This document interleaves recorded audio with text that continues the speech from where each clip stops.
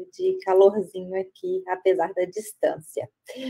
É, então, muito bem-vindos à décima a 22ª Oficina Wikimedia Educação. Eu sou Amanda Jurno, sou a atual gestora de Educação e Difusão Científica do Wikimovimento Brasil.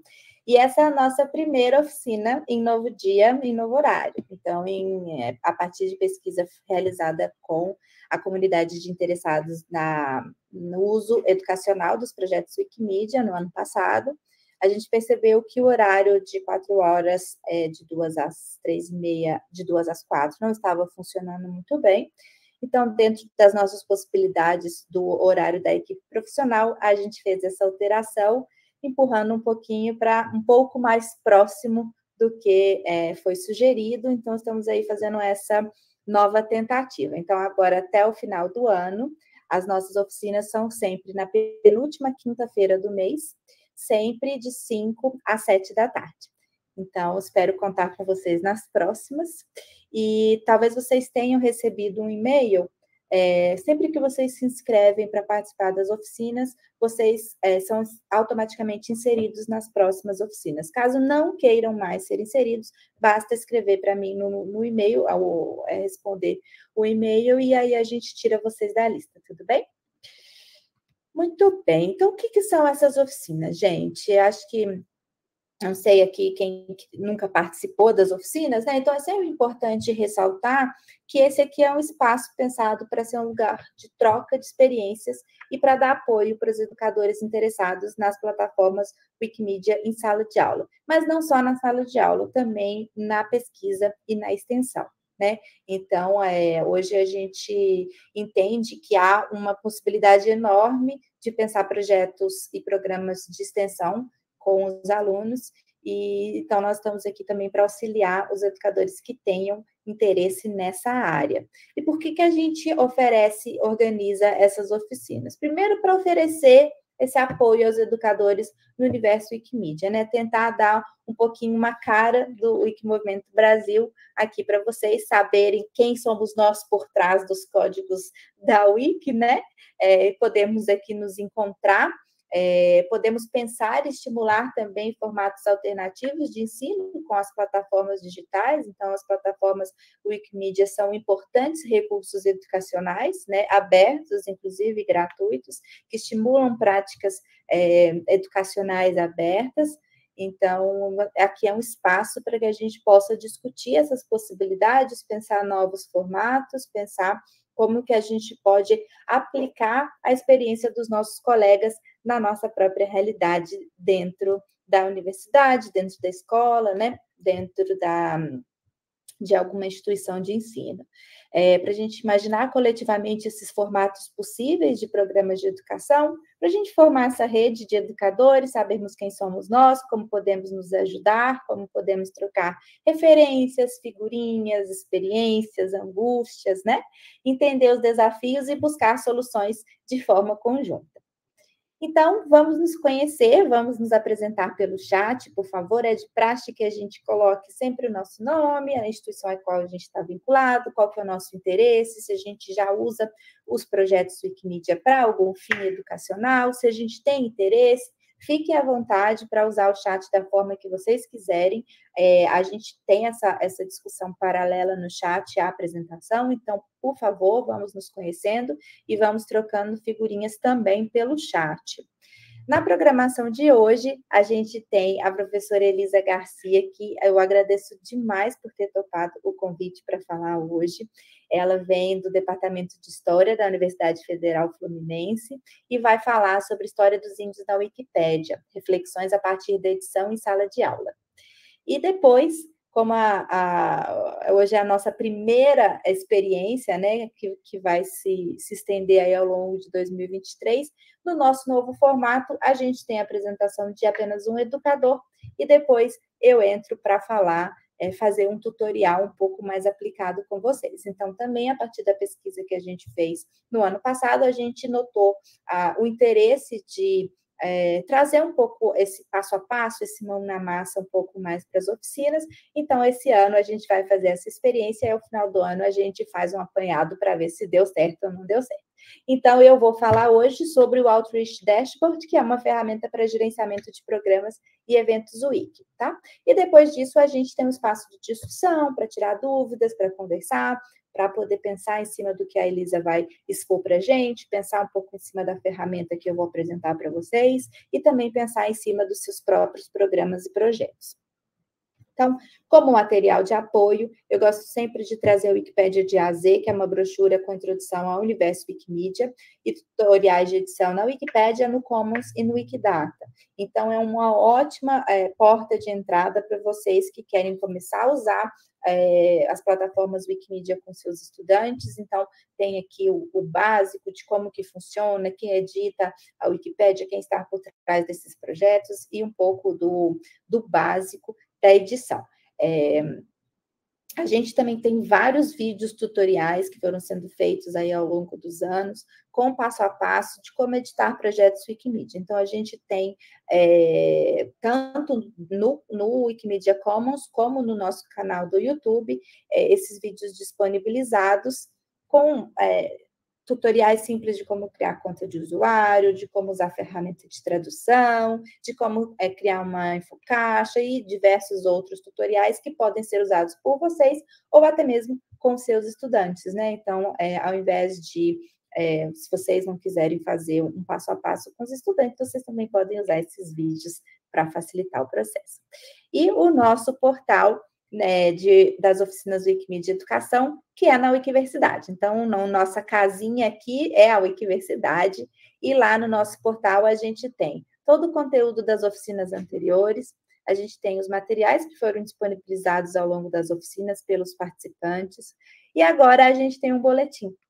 É, então, todos os nossos encontros estão lá. Hoje, ou no máximo amanhã, o vídeo da, com a gravação desse encontro também vai estar no portal, tá? É, os slides da minha apresentação já estão lá. Eu vou depois ver se a professora Elisa topa disponibilizar os dela também, então também estarão lá. E o vídeo vai estar até amanhã, com certeza. Vocês podem rever ou passar para alguém que tenha interesse. A gente também tem lá materiais de apoio e a lista de participantes. Então, por favor, não deixe de assinar. É, esse foi o primeiro mês que a gente começou a fazer um boletim mensal. Também, a partir da nossa pesquisa, descobrimos que havia um interesse de troca de informações e, e atividades e novidades do que está acontecendo na comunidade. Então, a gente lançou o nosso boletim WMB Educação. Esse foi, em março foi a nossa primeira edição, já está no nosso portal da Wikiversidade, e esse boletim também é distribuído por e-mail. Então, se você quiser receber esse boletim por e-mail, não quer, não quer acessar o Wikiversidade, prefere receber por e-mail, não tem problema, basta me escrever para amandajuno.wmnobrasil.org, que eu mando o conteúdo para vocês. Eu não posso inserir vocês nessa lista, eu preciso que vocês declarem interesse para receber por e-mail, tudo bem? E aqui está o link do nosso, do nosso boletim direto na Wikiversidade. Por fim, nós temos também o nosso canal no Slack, um grupo de discussão sobre educação e Wikimedia que precisa de uma agitação lá, porque tem ficado parado, então vamos, vamos movimentar o grupo, é, que a gente pode, é um canal para a gente trocar essa, essas experiências, trocar angústias, é, acho que pode ser um espaço interessante para a gente trocar é, necessidades também da rotina, né? Então, é, professores que estejam desenvolvendo programas com Wikipédia, com Wikidata, com Wikimedia Commons, podem usar esse espaço para pedir sugestões, tirar dúvidas é, ao vivo ali com os colegas, né? Sobre algum problema que tenham com edição, alguma dúvida de aluno que não saibam responder, ou é, pedir ajuda de voluntários para participar das, do, das aulas, etc. É um espaço para a gente poder trocar. Então, se você quer entrar no canal do Slack, é só mandar uma mensagem para WM no arroba wmnobrasil.org, que a gente coloca você no canal. E, por fim, a gente também emite certificação da participação nessa oficina. Então, se você quer um certificado de participação na 22ª Oficina Wikimedia de Educação, por favor, escreva para eventos.wmnobrasil.org. Então, muito bem, esse espaço é de vocês e eu sou muito feliz em anunciar a professora Elisa Furhoff, depois você me fala como é que fala, é, Garcia, que é professora de graduação e da pós-graduação em História da UF, pesquisadora do CNPq e cientista nosso estado da FAPERJ. realizou estágio de pesquisa em várias instituições na Europa e nos Estados Unidos, recebendo bolsas da Fundação Carolina, Newberry Library, Max Planck Institute for Legal History and Legal Theory e the Lehman Center for Brazilian Studies, University of Illinois, dentre outros. Especialista nos povos nativos americanos no período colonial, atualmente pesquisa as relações entre as mulheres indígenas e os homens europeus do século XVI e início do século XVII, e uma abordagem de longa duração que articula história, patrimônio e usos do passado. É wikimedista e mantém um canal de divulgação científica no TikTok, arroba Toque de História. Então, muito bem, Elisa, a sala é sua. Muito obrigada por ter topado o nosso convite para participar. Fique à vontade. Obrigada, Amanda. Eu é que agradeço muito. Estou muito feliz de estar aqui com vocês e de compartilhar essa experiência que eu tenho desenvolvido desde 2020 lá na UF. É, tenho aqui alguns alunos né, que participaram é, desses cursos, Estou vendo aqui colegas, pessoas que eu também não conhecia, vou conhecer hoje. Oi, Bruno, colega lá, o Bruno orientando, o Bruno, colega, né? Então, assim, estou muito feliz de passar essa tarde aqui com vocês. Deixa eu começar aqui já a apresentação, que aí já vamos lá. Né? Então, é, quer dizer, como a Amanda já falou, né? É, eu selecionei aqui com, como título né, é, de hoje é, algumas reflexões sobre as edições que a gente tem feito desde 2020 nas salas de aula de graduação da UF, em páginas relacionadas à história dos índios. Tá? Essas, uh, enfim, foram experiências bem diversas, né? é, em parte, elas estão relacionadas com uh, um curso novo, né, uma disciplina nova que a gente tem na UF, que chama Laboratório, que é uma disciplina completamente livre, onde o professor deve propor alguma atividade prática é, com, com a turma, que traz aí alguns desafios né, para os historiadores, que geralmente não são muito práticos, né? Nós temos uma tradição de, de cursos baseados em leitura, em exegese textual, e quando nós temos aí uma demanda de realizar né, algum, algo prático, a gente fica um pouco perdido, e agora também existe a questão da extensão, tá? que aí todas as universidades estão tendo que incluir a extensão com maior ou menor carga horária, né? Lá na UF a gente ficou com 10%, mas eu sei que outras universidades já estão com 20%. Então, no fim, a existência do laboratório e a questão da extensão casou perfeitamente com essa iniciativa de edição. Tá? E aí eu separei é, quatro aspectos dessa experiência que eu gostaria de compartilhar com vocês. Tá? É, um pouco é explicar o que é essa história dos índios que a gente está editando. Tá? Que muitas vezes para o público não especializado não é muito claro né, é o que, que a gente está fazendo. Tá?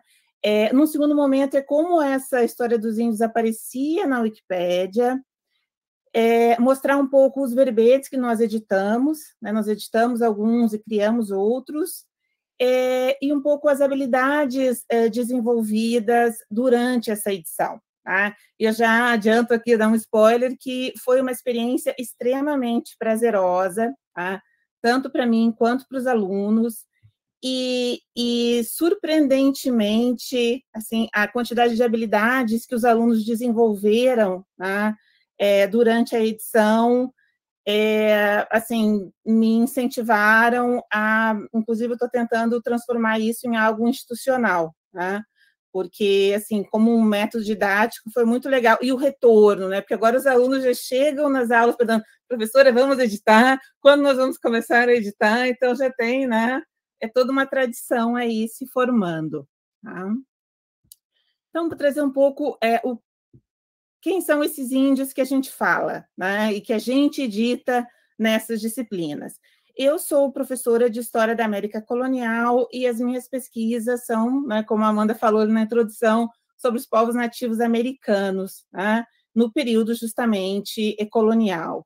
E aí a gente edita, sobretudo, temas e verbetes relacionados a esses sujeitos que são conhecidos na historiografia como os índios coloniais. Tá? É, isso é um termo técnico cunhado nos anos 70, mas para simplificar, ele significa basicamente esses uh, nativos que individual ou coletivamente se inseriram na sociedade colonial, eram súditos aí dos monarcas europeus. Tá? Em Minas Gerais, no Brasil, esses índios eram índios que estavam aldeados, tá? em aldeias que poderiam ou não ser missões jesuíticas. Tá? Isso é muito mais presente na nossa história do que a gente imagina. Tá? Então, por exemplo, a UF é um lugar perfeito para dar esse exemplo, porque justamente Niterói nasce como um aldeamento indígena para dar suporte à ocupação do Rio de Janeiro. Tá? A pegar o Bruno aqui outro como exemplo, né? Guarulhos igualmente, justamente um aldeamento indígena dentre os vários que estavam aí é, auxiliando São Paulo e o próprio São Paulo, num certo sentido.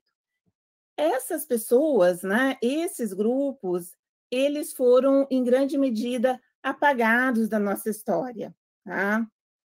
Nós temos uma história que geralmente estabelece o início do período colonial, né, o mundo português em antagonismo a esses índios. Né? Isso é um equívoco historiográfico.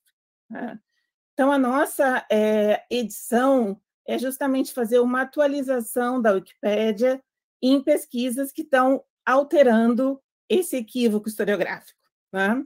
E aí é muito legal também ver que alunos que produziram e estão produzindo teses que justamente ajudam né, nessa mudança. Então, aí eu botei aqui três imagens.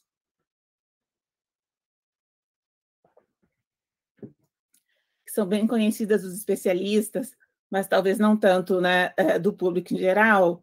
São três imagens do Debré, do início do século XIX, e que mostram justamente esses personagens né, e a diversidade desses índios coloniais. Então, aqui no canto esquerdo, a gente tem uma Índia, uma mulher indígena rica, no certo sentido, né? uma mulher indígena bem posicionada naquela sociedade que se dirige para a missa dominical. Né? Então, vocês veem que ela está bem vestida, ela tem todos os símbolos das pessoas bem colocadas naquele mundo. O cabelo, o sapato, a roupa. Né? No outro canto, a gente tem mulheres indígenas, mas que são mulheres indígenas trabalhadoras. Né? Elas são lavadeiras que trabalhavam no Rio de Janeiro. Tá? E aí dá muito também essa ideia do que a gente quer trabalhar, esse índio colonial presente né, no mundo, na dinâmica, no cotidiano, ao longo aí de todos os três séculos de colonização portuguesa. Tá? E aí, né? Dando justamente as imagens das mulheres, elas foram o, os personagens que nós mais editamos é, durante os cursos. Justamente, não só porque a minha pesquisa atual é sobre mulheres indígenas, mas também porque esses personagens nos permitem trabalhar a questão de etnia e gênero, né? que nos abre aí toda um, uma forma de pensar esse mundo colonial a partir de outra perspectiva. E aí nós fizemos várias edições e eu selecionei aqui algumas para falar hoje. Uma são, na verdade, dois verbetes que foram criados, tá? Que não existiam, que é o da Damiana da Cunha e o da Marquesa Ferreira, adiantando que Marquesa é nome, tá? não é título nobiliário, nesse caso. O da Bartira, que foi editado, e um outro trabalho que a gente fez, que eu acho também super interessante, é ir nos verbetes gerais sobre história colonial, é, geralmente relacionados a essas mulheres, e identificar que elas não estão presentes ou elas não são nomeadas, e aí alterar isso. Tá? Então, por exemplo, nós somos em vários verbetes sobre a história colonial de São Paulo e identificamos que muitas vezes a Bartira não era nomeada. Então, se falava assim, o João Ramalho era casado com uma filha do Tibiriçá. Custa falar Bartira? Custa falar o nome? Né? Mas isso é também toda uma tradição histórica e historiográfica de não identificar essas mulheres. Então, isso foi um outro trabalho que nós fizemos. e depois o da igreja eu vou falar quando chegar a hora de deixar um suspense aqui para vocês. Então, esse aqui é um, foi um dos primeiros verbetes que nós criamos relacionados à temática das mulheres indígenas. O verbete da Damiana da Cunha existia em catalão, isso aqui não é uma língua aqui na direita, não sei por que existia um verbete da Cunha em catalão, mas não existia em português. Né? E, e, e, a gente ficou muito surpreso. Né? Foram, na verdade, os alunos que descobriram isso. Né? A gente ficou pensando que, que mulheres a gente, que mulheres a gente pode editar, quem está na Wikipédia, quem não está. E nós ficamos muito surpresos que a Damiana da Cunha não estava, porque ela é uma das mulheres indígenas, atualmente, mais, digamos assim, famosas na historiografia porque recentemente foi lançado um livro sobre ela, justamente de uma estudante da UF. Né? Então, você poxa, uma personagem tão famosa que não tem um verbete na Wikipédia.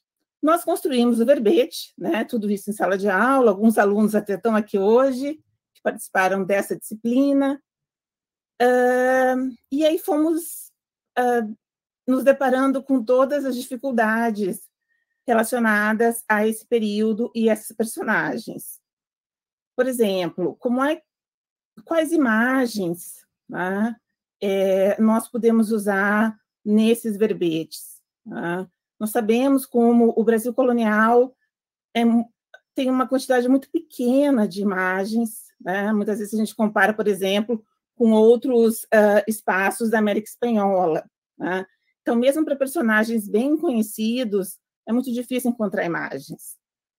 Para mulheres indígenas, mais ainda. Tá? E, às vezes, algumas dessas imagens que a gente encontra, foi o caso também aqui da Damiana da Cunha, a gente não consegue usar, né? porque elas não estão em domínio público. Hum. Então, esse foi um exercício que eu achei também bastante interessante, que a gente desenvolveu em sala de aula como oficinas. Né? é, como é que a gente consegue eh, lidar com essa questão? Né? Porque as imagens são fundamentais num verbete da Wikipédia. Né? É, e aí a gente foi também desenvolvendo essa abordagem de longo prazo desses personagens. Né? E aí um outro aspecto interessante que nós desenvolvemos, já adiantando um pouco as habilidades, foram as relações entre história e usos do passado, tá? porque muitas dessas mulheres, elas Uh, por, que, por que, a gente está estudando elas hoje? Né? Porque, algum, em algum sentido, elas fazem parte da nossa memória e dos usos daquele passado colonial. Né? E como a gente articula esses aspectos. Então, no caso da Damiana, é, a Damiana é uma personagem famosíssima em Goiás. Tá? É, muito mais até do que a gente pode imaginar. Tá?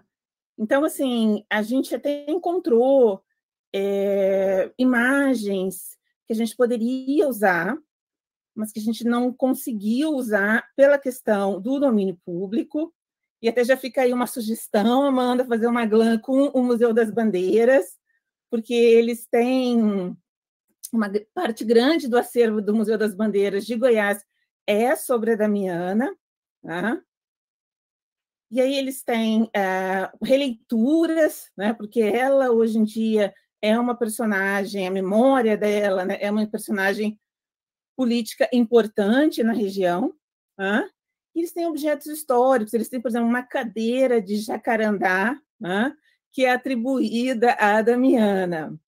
A cadeira é belíssima, muitos desses objetos eles têm uma atribuição complicada né, de se verificar. É, a cadeira é o, é o caso, é um dos casos, né? É, mas enfim, eles são muito interessantes para a gente lidar com a questão da memória. Tá? Então, assim, se achou no caso da Damiana, e aí a gente também trabalhou com questões de é, espaço e materialidade. Né? Então, a gente colocou no site é, mapas da região de Goiás, né, que demonstravam o, a espacialidade desse, desse grupo, né, dos caiapós na região, e, e como é que a, a Damiana né, era uma pessoa que é, circulava entre os núcleos urbanos e os sertões. Tá? Eu não expliquei muito a Damiana, porque estava ali um pouco já né, o texto, mas ela era, sobretudo, uma índia sertanista. Tá? Era ela que, no final do século XVIII, início do século XIX, é, saía né, é, de Goiás liderava expedições ao sertão para convidar os índios a é, se integrarem na sociedade colonial. Tá? Então, aí, ela, ela é um personagem interessantíssimo, porque ela, primeiro, ela é uma mulher sertanista, né? uma liderança sertanista, e ela é uma índia que está fazendo essa mediação e que está andando né, nesses caminhos. Então, os mapas nos ajudaram a ter né, imagens uh, nesse, no verbete da Damiana. E outra imagem que a gente usou e que eu acho que ficou muito interessante para a gente fazer essa questão da memória, né, e para a gente pensar a materialidade dessas histórias na contemporaneidade, né, foi justamente, primeiro, essa perspectiva aqui da aldeia de São José de Moçâmedes, que era a aldeia onde a Damiana vivia. Né? É, essa imagem é uma imagem de 1801, mas a aldeia foi estabelecida décadas antes. Né?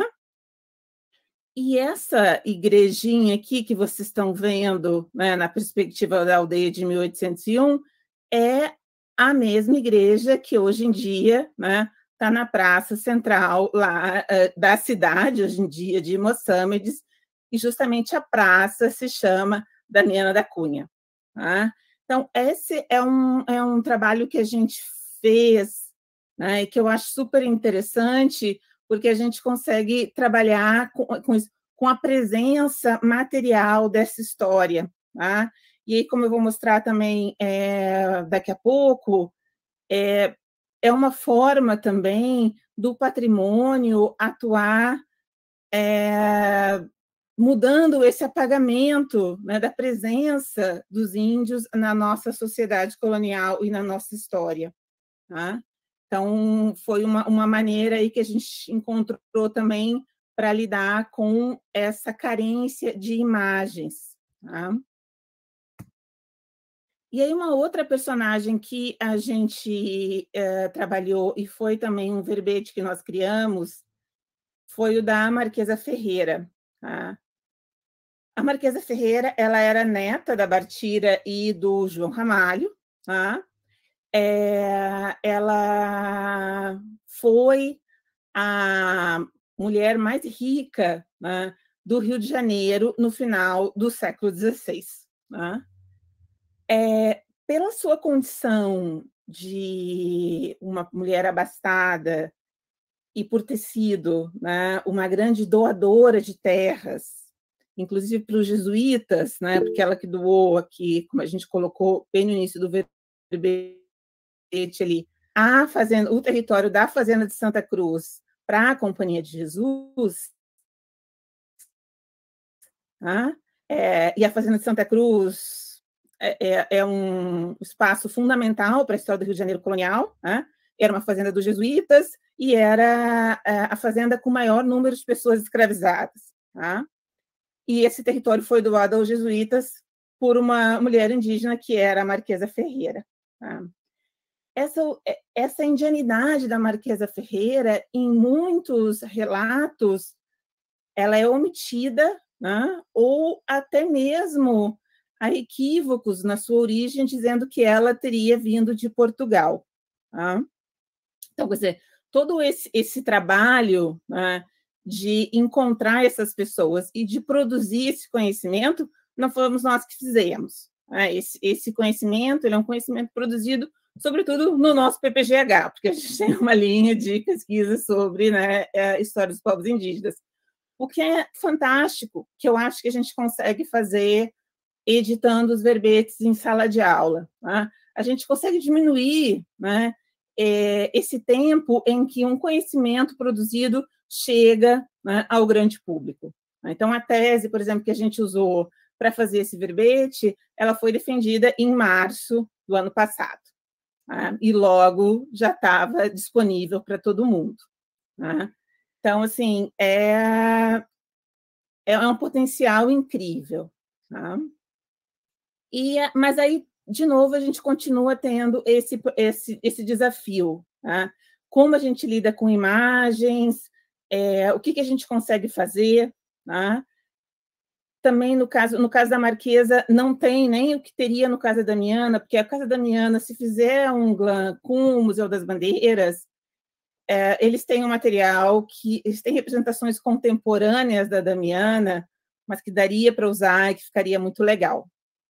Eles é, chamaram artistas locais para reinterpretarem essa personagem, então é fantástico o que eles têm. Para a Marquesa, não existe isso. E não significa como é que a gente usa, o que, que a gente faz. Né?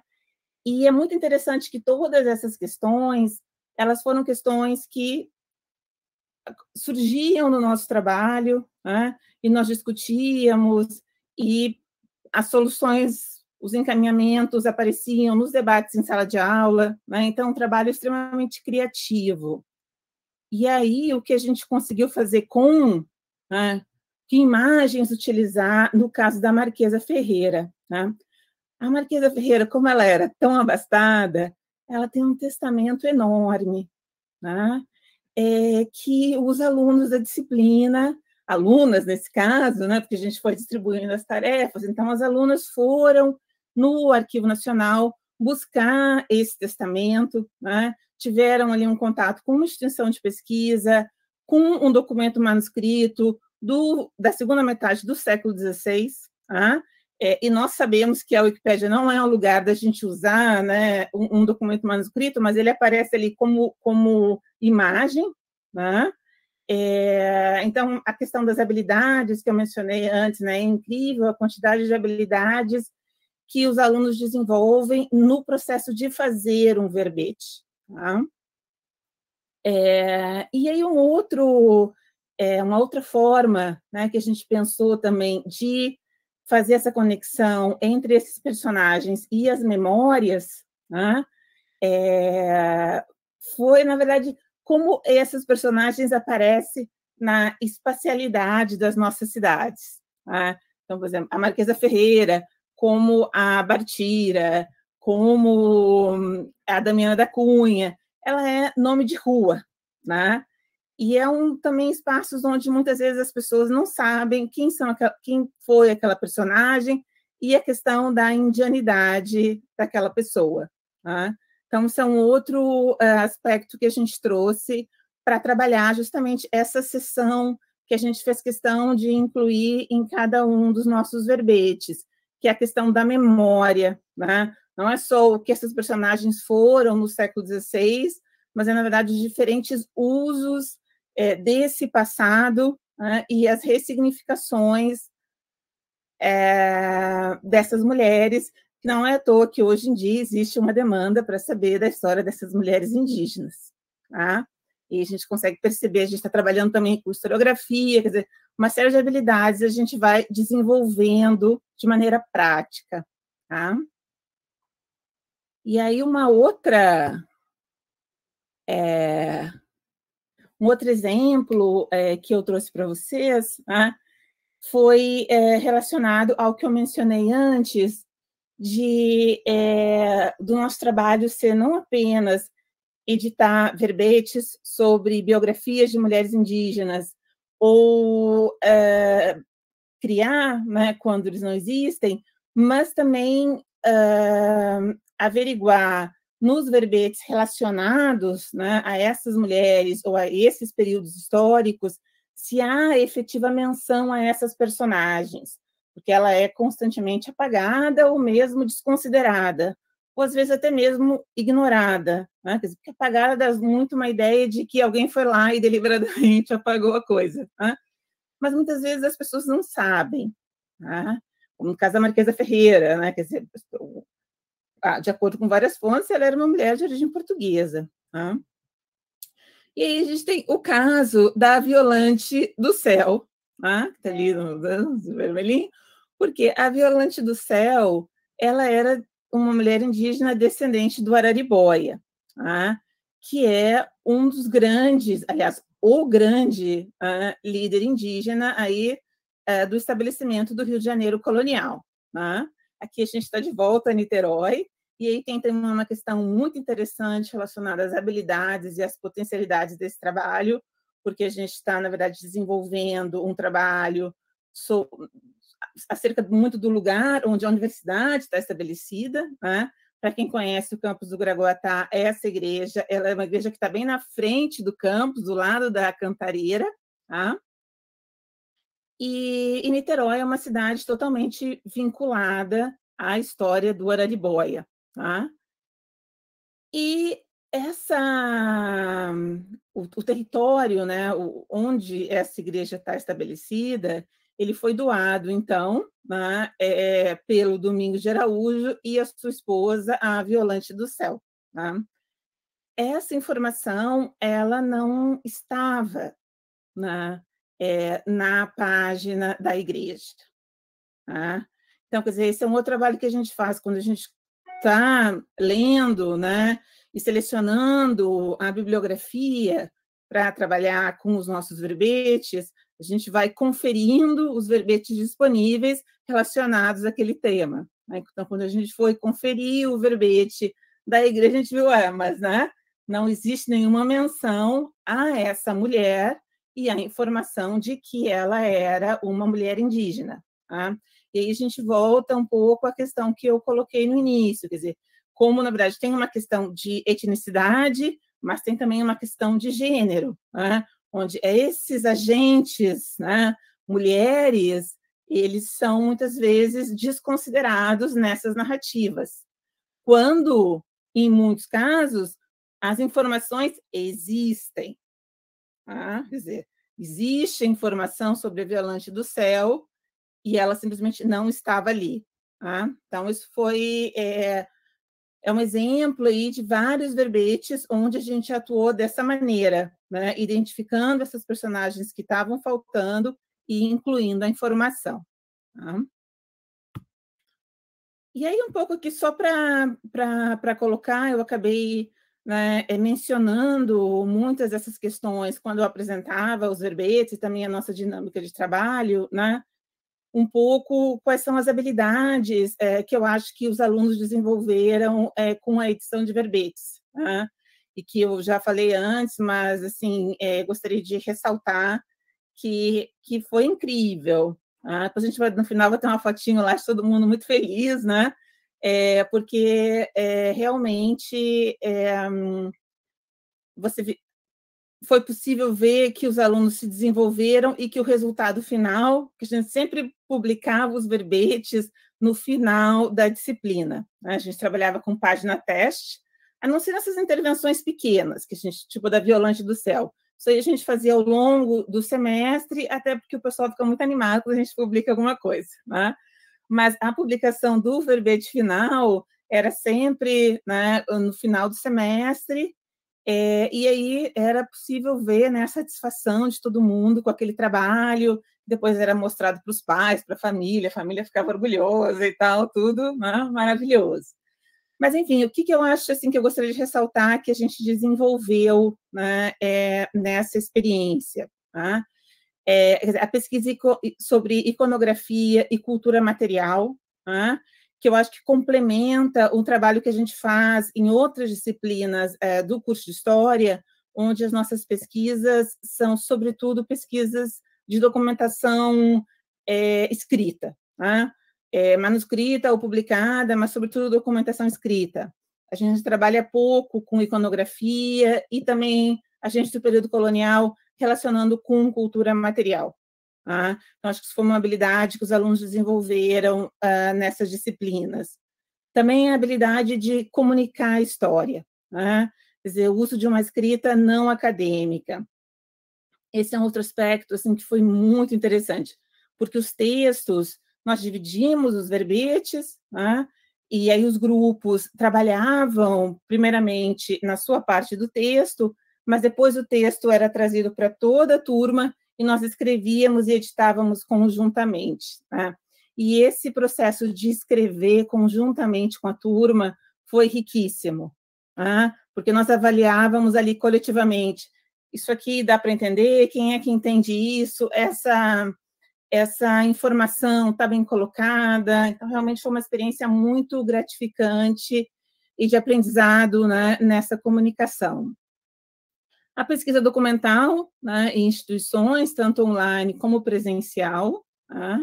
É, e aí o online também é fantástico, porque, inclusive, instituições europeias, né, museus, uh, livrarias, que muitas vezes é impossível para um aluno de graduação ter acesso, né, conseguir ter acesso, ter um primeiro contato, aprender a pesquisar nas bases justamente através né, da, da possibilidade do online. E tudo assessorado né, é, pelos outros colegas, pela professora, então é, é, eles avançaram muito nesse aspecto. E um, um, um, outro aspecto também que eu gostaria de, de ressaltar é essa habilidade de articulação de diferentes temporalidades. Tá? Porque o nosso curso ele ele ainda é não estou dizendo que é ruim pode ser bom né? mas, mas, assim como é que ele é ele é organizado em temporalidades tá? e aí a gente treina pouco a capacidade de articular diferentes temporalidades tá? e de efetivamente pensar em longa duração e nas metamorfoses né, que esses temas aí vão é, vão passando ao longo do tempo. Né? Então, foi muito gratificante a questão das discussões de memória, tá? que a gente é, conseguiu é, desenvolver essa, essa habilidade. Tá? Bom, já estou terminando, pessoal. Esse aqui é uma fotinho do nosso, do nosso último né, é, laboratório, que foi no semestre passado a gente estava com os quitutes ali, porque foi o dia que nós publicamos os verbetes, né? Então a gente fez ali uma, festinha, todo mundo muito feliz, como vocês estão vendo ali. E, e, e tem, tem alunos que estão aqui e não tem fotinho, porque eles participaram nos semestres anteriores. Eu sei, Andréia, pois é, né? Mas, enfim, eles ficam ali representando todos vocês. Né? É, e aí foi o dia também que eles mandaram pelo WhatsApp. A Cecília estava lá, a Cecília está ali na fotinho mandaram para toda a família no WhatsApp e tal. Realmente foi, foi muito bacana, né? E aí, é, deixa eu botar aqui o outro. Então, assim, é, era um pouco isso, né, que eu tinha é, preparado para hoje, né? E aí deixei aqui, né, para quem quiser um, saber mais do nosso trabalho, até entrar em contato, né? E aproveito também é, para agradecer, vou agradecer pessoalmente aqui, principalmente a Andressa, que nos ajudou muito é, nesse, nesse processo, né, Andressa? Porque a, a, nossa página, por exemplo, da Damiana, foi proposta para eliminação, né? eliminação semi-rápida, a gente ficou assim, nossa, super impactado. É, assim, a, a, a pessoa alegou que a gente não tinha uma referência, né? bibliográfica, mas a gente tinha ali um, um, um livro publicado pela Eduf, então, porque, nossa, né? E aí falei com a Andressa, que na hora nos ajudou, nos orientou, né? É, e aí, junto com os alunos que participaram dos laboratórios, mas também os alunos que têm alguma relação com o nosso Instituto de História, né? por exemplo, como a Andressa, que é doutoranda, e outros, mas aí, nesse caso aqui, principalmente a Andressa, que nos estimulou muito a oficializar né, o nosso laboratório na universidade. Então, a gente é, criou essa, essa página, eu deixo aqui para quem quiser é, visitar, né? e a gente está trabalhando na página ainda. A ideia é que ela possa agrupar todas essas diferentes experiências que a gente tem, tem tido na UF, né? porque são vários semestres e aí a gente está colocando lá os programas, né? E acho que outras atividades, se a gente fizer uma editatona, a gente coloca lá, então uh, vai agrupando tudo. E o interessante também da página do laboratório, a gente consegue fazer ali um outro aspecto que eu também acho muito legal dos verbetes, e que os alunos gostam muito também, porque é, ele é um trabalho que não se encerra num, num semestre, um semestre é muito curto. Né? Quatro meses a gente começa alguma coisa, mas porque nos, nos semestres seguintes a gente pode sempre continuar. E aí os alunos novos que vêm, eles não têm que fazer tudo de novo, né? Eles continuam fazendo o que os outros já iniciaram. E o laboratório, é, é, a ideia né, da nossa página do laboratório no Wikiversidade é a mesma coisa. É um, é um trabalho que não se encerra e não se perde. Né? Ele, vai, ele vai somando e fica ali disponível para quem tiver interesse, etc. Então, queria agradecer muito né, é, a, a presença, a paciência de vocês. Espero que vocês tenham gostado e estou aqui, enfim, eu e os participantes aqui é, também que tiveram né, na, nas disciplinas, estou à disposição para conversar, críticas, sugestões, enfim. Obrigada. Muito obrigada. Eu sabia que ia ser bom, mas não imaginei que fosse tanto. Uhum. é, Lisa, espero que, esta, que esta, esse caso venha para um capítulo do livro, hein? Você, você poderia pensar sobre isso. Nós temos até, eu botei aqui o link, vou aproveitar fazer o, a propaganda aqui, nós estamos em comemoração aos 10 anos do Wiki Movimento Brasil, a gente está organizando um livro para contar a história da Wikimedia no Brasil. Então, vocês estão todos convidados a submeter os seus resumos com propostas de capítulos até domingo. Esse prazo já foi expandido uma vez, então não vai ser expandido de novo, então é realmente só até domingo. Mas dá tempo, vai, são só é, entre 5 e 10 mil caracteres, é, é pouquinho mesmo, é só contar a proposta de vocês e, e tá todas as informações da, da, da, chamada aqui no link. Vocês podem é, dar uma olhada e eu também estou à disposição para tirar dúvidas. E, Elisa, espero que você tope entrar nessa empreitada aí, porque seria maravilhoso ter essa história no nosso livro. Muito bem. Então, é, antes da gente abrir para a discussão, é, eu vou então começar a minha fala. E aí, para quem chegou depois, é, explicar que, a partir de consulta feita à comunidade, no ano passado, a gente percebeu que havia uma demanda por uma. É, por atividades com mais mão na massa, né, aqui nesse nosso grupo, apesar de ser um grupo para discussões, discussões pedagógicas. Então, a, a gente vai agora, ao longo de 2023, além da mudança de dia e horário, a gente vai trazer também sempre uma, um tutorial rapidinho sobre alguma coisa que serve aos professores e aos educadores para o ensino e para a extensão. Então, para começar, eu trouxe aqui para vocês o dashboard, e aí, que é de praxe, trouxe aqui também uma mini biografia falando um pouco sobre, sobre mim. Eu sou atual gestora de educação e difusão científica e gosto também de estudar plataformas, algoritmos, inteligência artificial, e estou aí para qualquer dúvida que vocês quiserem ou discutir ou trocar é, sobre essa área. Então, deixa eu compartilhar os meus slides para a gente começar, então, nossa primeira, é, nosso primeiro tutorial, né? Então, o objetivo aqui da minha fala, os, esses slides já estão no nosso portal, também são acessáveis por esse link. É, o objetivo é apresentar a vocês o Outreach Dashboard, que é uma ferramenta para gerenciamento de programas e eventos, é, Wiki, e para que vocês possam ter curiosidade, buscar querer saber mais sobre a ferramenta. Então, nós não vamos chegar até uma, um, um, um nível mais avançado de edição, podemos depois, quem sabe, marcar um evento específico para isso, se for uma demanda de muitos, né? mas a ideia mesmo é apresentar para vocês essa ferramenta. Então, para começar, dar o histórico do que, que é essa ferramenta. Essa ferramenta foi criada em 2015 pela, é, pela Wiki Education Foundation, é, pelo braço de educação da Fundação Wikimedia, e que objetivava atender os próprios programas que a organização apoiava. Então, era uma ferramenta interna só que ela foi tão legal e ela trazia benefícios tão grandes que a comunidade começou a pedir para que ela fosse disponibilizada também, né? Então, é... ah, antes disso, ela foi uma ferramenta que foi pensada como substituição a uma outra que tinha sido criada em 2011 e que era muito cara a manutenção. Então, ela foi pensada como uma estratégia viável para poder é, acompanhar esses programas de educação de uma forma financeiramente viável também, né? é, essa, o site da versão original ainda existe, é, só que ele só acompanha programas dos Estados Unidos e do Canadá.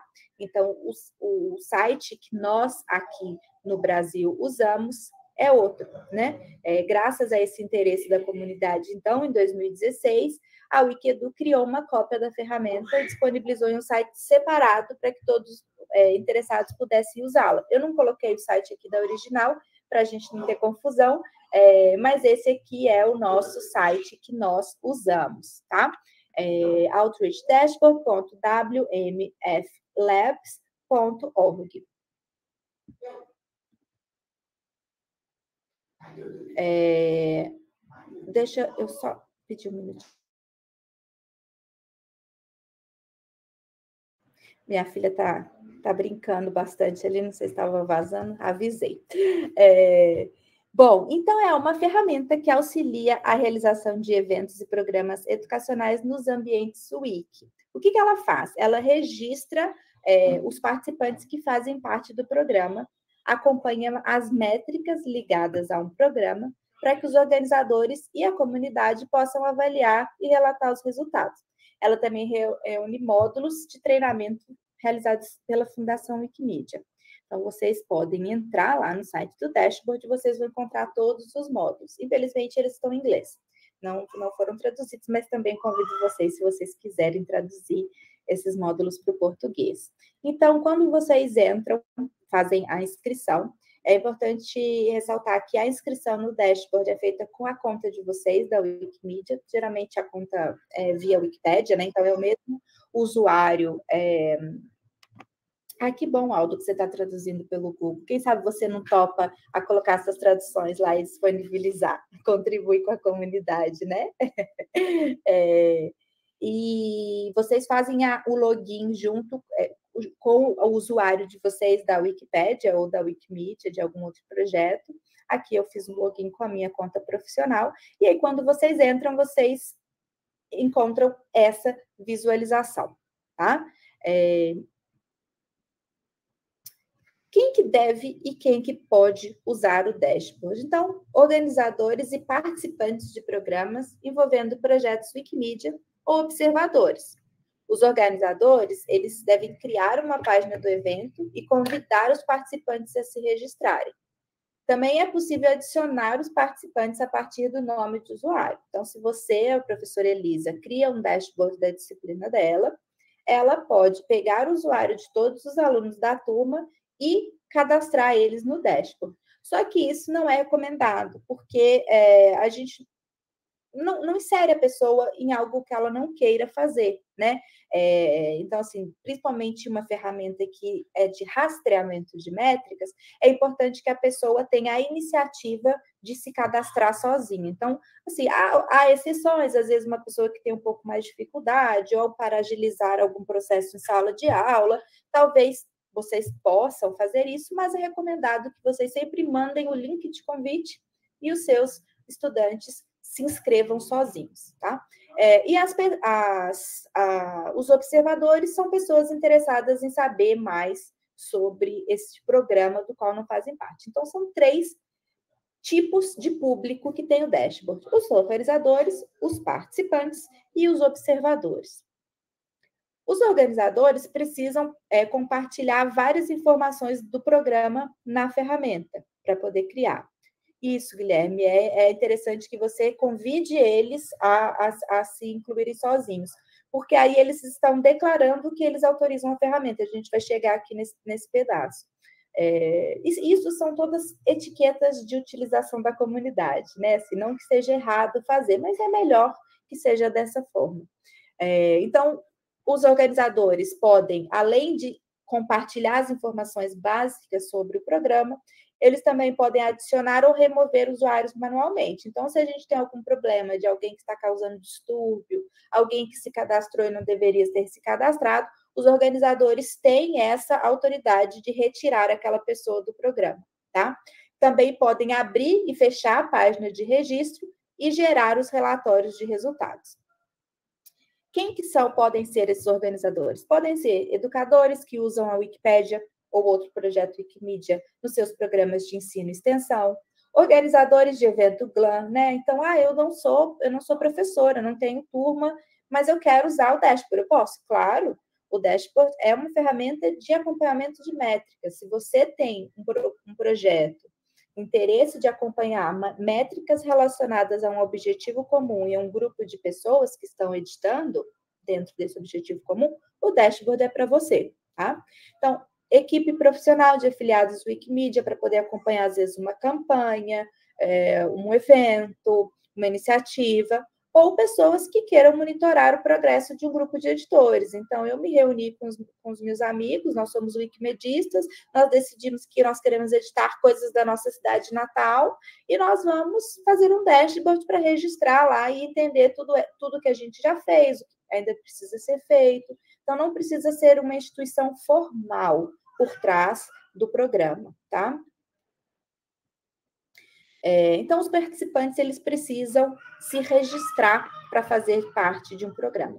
Ao clicar em registrar, esses participantes, o que, que eles estão fazendo? Eles estão autorizando essa ferramenta a, a, a rastrear e registrar suas ações nos projetos Wikimedia.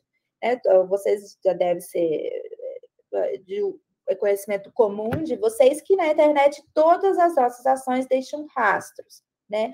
Então, quando a gente está usando os projetos Wikimedia, a gente também está deixando rastros digitais. Então, o que, que a gente faz quando a gente, a gente entra no dashboard?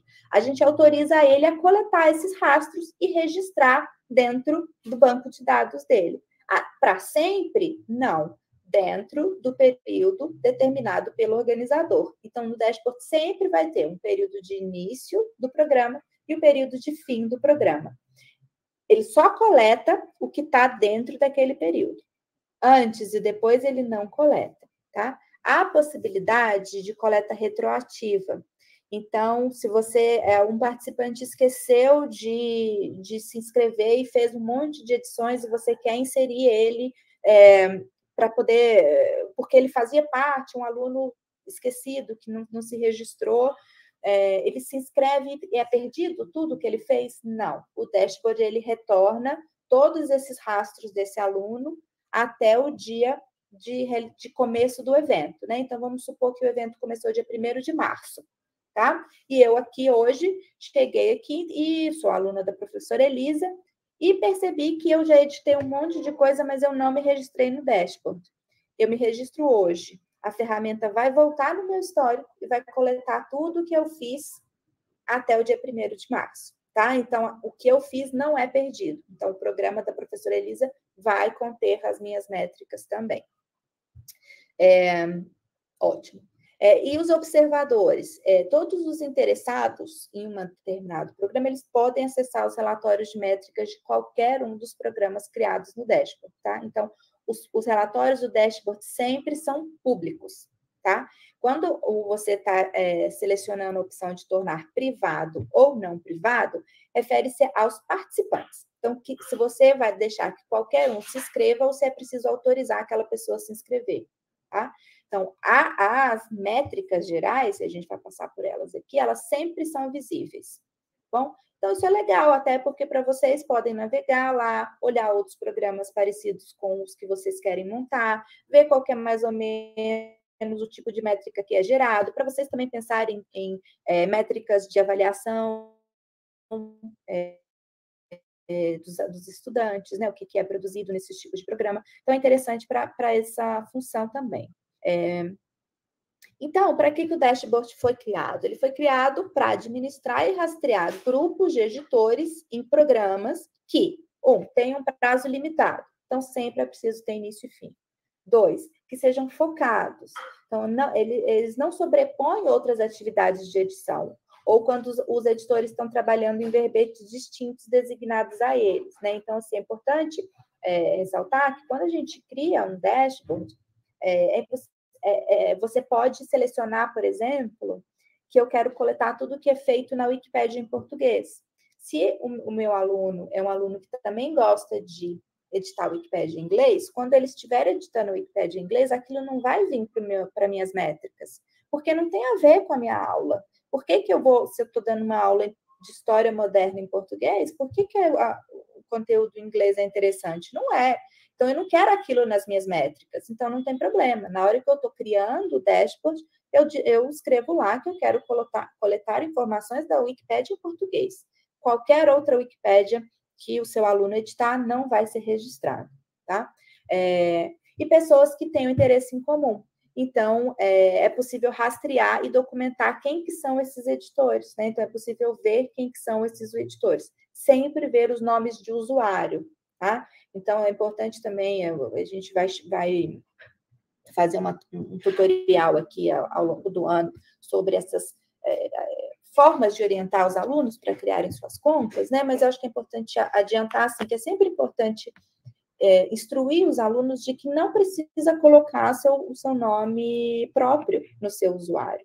A Wikipédia garante a anonimidade. Então, o professor detém a lista é, de quem, de que aluno tem qual usuário para fins de nota. Mas essa, essa relação nome pessoal e usuário não é não é publicizada. Nós da, da Wikimedia e todos os observadores do programa que entrarem no programa vão ver apenas os nomes de usuário, eles não precisam saber quem são as pessoas, a não ser que o professor publicize isso de alguma forma, né? Que não é recomendado também a não ser que seja caso de dar autoria, né? Então, a gente quer publicizar, divulgar o trabalho que os alunos fizeram, é de comum acordo dos alunos é, se, se, identificarem. Aí, ok, mas é sempre importante a gente é, questionar se eles querem que o nome deles seja divulgado e relacionado ao conteúdo que eles estão produzindo. E pode parecer uma coisa muito simples, gente, mas é, muitas pessoas são atacadas pelas opções sexuais, pelas opções religiosas, é, pelas opções. É, desculpa se eu, não, se eu não usei o termo opção, é, orientação sexual, é, op, é, escolhas religiosas ou um, é, expressões políticas, né? Então, assim, a, a, depender do cargo que você ocupa em uma empresa, há empresas que são extremamente preconceituosas, com opções políticas, com opções é, dos mais diversos assuntos. Então, é o direito da pessoa não querer que, que o nome dela esteja ligado ao conteúdo que ela está editando, né? Isso, às vezes, é uma questão de segurança de vida mesmo das pessoas, né? Muito bem. É, então, para coletar essas informações, o dashboard usa, como é que fala? OFF, é, que na verdade ela é o diminutivo de Open Authorization, que é uma forma de autorizar aplicativos externos a realizarem edições e outras ações em seu nome. Então, quando você entra em algum site, e essa ferramenta é usada em muitos outros sites na internet, além dos projetos Wikimedia, e você vê essa, essa, essa ferramentinha, quando você clica aqui em aceita, você está autorizando ela a fazer ações em seu nome. Então, é, nesse caso, os, os, participantes do programa, você, eles estão autorizando o dashboard a agir usando a conta sem a necessidade de fornecer a senha de acesso ou usar uma funcionalidade que não deveria. Então, eu apenas entro com a minha conta, autorizo, e aí, a partir daí, ele consegue coletar as informações que foram designadas no programa para serem é, coletadas. Então, de novo, assim, é algo muito comum na internet, é usado em diversos sites, isso não é do, da, do, dos projetos Wikimedia somente, tá? É, então, ao clicar, é, e, e, aí você faz esse login com a sua conta geral, sua conta universal, global da Wikimedia. Geralmente ela está atrelada à Wikipédia, que é sempre, a maioria das vezes, é a nossa porta de entrada, a gente faz a nossa conta pela Wikipédia, mas não necessariamente. É, então, ao clicar em login, você precisa inserir o seu usuário e senha da Wikipédia. Depois aparece uma janela pedindo a permissão para que o dashboard interaja com as páginas usando a sua conta. Pronto você autoriza e ele já passa a coletar os seus conteúdos. Ela apenas contabiliza e reporta informações que estejam públicas nos projetos Wikimedia. Tá? Qual que é a vantagem? Ela coleta grandes quantidades de informações, então, assim, uma turma de cinco alunos, é fácil o professor chegar lá e coletar o, o, que cada um fez né? Agora a gente está apoiando uma campanha é, de saúde auditiva. O pessoal está lá, realizaram a oficina em Florianópolis hoje, foi um sucesso e tal. E aí eles estão, não sei se vocês acompanham nossas redes sociais, mas nós estamos postando lá, tá um sucesso. E mais de 800 editores. Como que a gente coleta os dados de todo mundo? E tem gente que é super empolgada e vai ficar virando noite editando e vai adicionar dezenas, milhões de bytes, e como que o professor dá conta, como que o, né, que o organizador deve dar conta de coletar tudo isso. Então, qual que é a vantagem do dashboard? É que ele coleta grandes quantidades de informação de forma automática em múltiplos projetos. Tá? É, ele coleta todos os projetos. Então, coleta o Wikisource, coleta o Wikibooks, coleta o Wikidata, coleta o Wikimedia Commons, coleta o Wikinews, coleta a Wikipédia, logicamente, coleta a Wikiversidade, tá? Então, você sempre tem que designar qual é a língua do projeto que você está usando. Então, todos esses projetos, com exceção do Wikidata e do Commons, todos esses projetos têm as suas versões das línguas, né? Então, a gente tem a Wikipédia em português, a Wikipédia em inglês, a, a Wikiversidade em português, a Wikiversidade em inglês. Então, a gente tem que sempre especificar qual delas a gente quer que colete. O Wikidata é, é multilingüe, então não precisa especificar, e o Commons também não precisa especificar. Então, as métricas que são pré-definidas para poder coletar com esses grupos, para qualquer grupo. Lista com o nome de usuários da Wikipédia de todos os participantes. Lista dos itens da Wikimedia, por exemplo, é, artigos da Wikipédia para os quais os participantes contribuíram. Contagem de edições, de contribuições para qualquer conteúdo da Wikimedia, número de novos artigos criados na Wikipédia, número de palavras adicionadas, número de acessos ao conteúdo que o grupo desenvolveu. E lista de uploads de mídia para o Wikimedia Commons. Então, a gente entra é, no dashboard e aqui estão todas as informações importantes. Vocês verem que a ferramenta está metade traduzida e metade não traduzida, né? Então, vocês não reparem.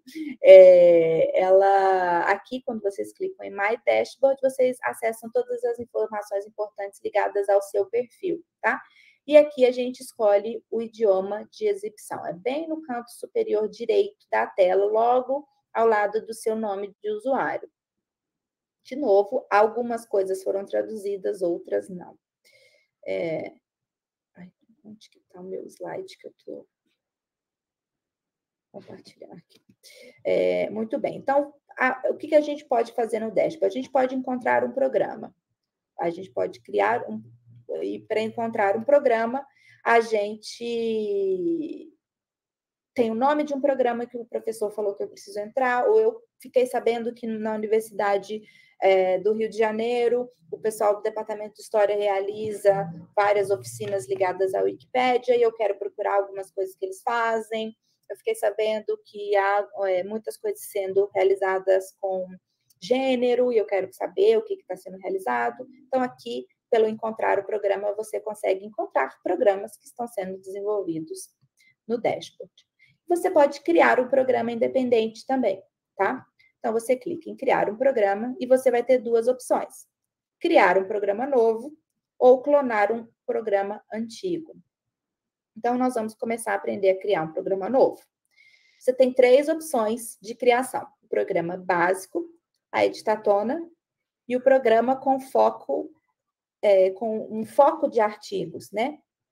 Um escopo de artigos definido. Então, o programa básico é o programa padrão.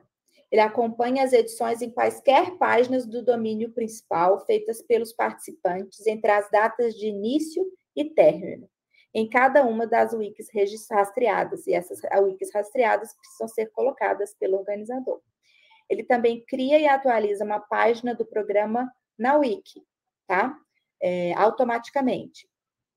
As edições de qualquer artigo nas wikis são rastreadas, é, rastreadas serão contadas mas os organizadores podem filtrar artigos específicos usando o recurso Untrack na visualização é, artigos editados. Editatona é um tipo de programa que funciona como o anterior, com a diferença de que nenhuma página do programa vai ser criada no na Wiki, a menos que seja explicitamente habilitada. Então, a única diferença é essa. O programa com escopo de artigo ele limita as estatísticas a artigos específicos e coleções de artigos. Então, somente as edições de artigos atribuídos àquele programa ou artigos em categorias listadas na aba Artigos é, designados serão contadas. Os participantes podem atribuir a si mesmos os artigos que desejam rastrear e os organizadores podem adicionar artigos por título ou coleções de artigo através de categorias na Wiki, modelos, consultas PetScan ou coleções PagePile. A gente não vai falar sobre PetScan e nem PagePile hoje, porque são coisas mais complexas e nem eu consigo fazer direito. A gente precisaria é, pegar os, a ajuda dos universitários aqui, o Lucas Belo, para ajudar a gente com essas questões. É, mas não precisa disso para poder conseguir fazer um programa legal no dashboard, tá? Então, quando você está criando um programa, o que, que você vai precisar? Você vai precisar de um título, é obrigatório. Esse título deve descrever o seu programa ou seu evento de forma concisa. Essa informação não pode ser editada depois. Isso é importante. Instituição também não vai ser, poder ser editada e é obrigatória. Ah, mas eu não, não sou ligada à instituição. Não tem problema. Você pode criar um, um, é, um grupo de amigos que está editando você pode criar um nome que, que refere-se a vocês. É sempre importante que vocês definam bem esse nome para que depois vocês consigam fazer, é, buscar esse, esses é, programas que vocês criaram, né, fazer essa historicização aí do trabalho de vocês e que vocês consigam colocar os programas jun, é, ligados uns aos outros, né? Então eu quero que nós sejamos uh, o grupo da turma do bairro. Então, com todos os programas que eu vou criar, eu escrevo lá a instituição, grupo da turma do bairro, e sempre é, tendo atenção de escrever da mesma forma, com a mesma grafia. Idioma é o prefixo do idioma que vai ser mais usado nas edições. Então, todos os projetos Wikimedia serão selecionados, serão contabilizados, mas esse é o idioma que vai ser usado como padrão. Então, as alterações podem ser feitas manualmente em cada artigo selecionado. Então, quando você coloca que o seu idioma padrão é português, ele sempre vai contar primeiro a Wikipédia em português. Se você quiser que seja a Wikipédia em inglês, aí você vai ter que manualmente editar isso. O projeto inicial é o projeto que vai ser o projeto organizador principal. Então, essa for ferramenta seletora de artigos vai usar esse projeto inicial como padrão. E essas alterações também precisam ser feitas manualmente. Geralmente, o projeto inicial padrão é a Wikipédia em português, né? Descrição do programa. É um campo de texto livre onde se sugere incluir links copiáveis para as páginas da organização na Wiki, uma descrição da logística básica para o evento, a senha do programa, caso você queira que o evento seja público, é, ou instruções para obter essa senha, né, um e-mail onde as pessoas possam é, enviar, e links copiáveis para treinamentos on wiki. Então, é importante que ali seja o espaço onde vocês organizam essas informações, né? Então, o, vídeos tutoriais, às vezes a brochura Wikipedia de AZ, vocês colocam esses links lá que facilita. E a data de início e término do evento, que são obrigatórias, tá? É, recentemente, a última atualização do dashboard, ele passou a coletar páginas de teste também, além das páginas principais. Mas para fazer isso, a gente precisa inserir o nome de usuário que será coletado, tá? Então, isso depois a gente, quem tiver interesse nessa, nessa vertente específica, de repente eu posso até trazer um outro tutorial específico sobre como fazer isso, é, é, de um jeito um pouquinho diferente, mas agora já é possível fazer. É, muito bem, então aí tem a opção de clonar também um programa antigo que para que serve essa opção? Para você não precisar fazer tudo de novo. Então, se você todos os programas que você já participou, você tem disponíveis aqui para clonar. Então, ele copia as informações todas, sua descrição. Então, se você quer fazer, você é uma professora, você sempre dá aquele curso de extensão. Então, você não precisa editar tudo de novo. É, você quer que, que, que sigam os mesmos é, projetos, que a descrição seja a mesma e tal, você copia, muda lá só no título é, o semestre a que está relacionado àquela disciplina, por exemplo. Tá? Então, essa é uma opção legal. Então, aqui, é, é esse evento teste que eu criei, é, a gente não tem nenhum artigo editado, nenhum, nenhum total de edição, nenhum editor, nenhum byte adicionado, nenhuma referência adicionada, nenhuma visualização de artigo. Mas aqui é o que vocês conseguem ver na, na visualização de vocês, quando vocês criam um evento, tá? Então, vocês podem também é, designar artigos para vocês, podem selecionar que vocês querem revisar um artigo, ou vocês podem encontrar artigos através dessa ferramenta, tá?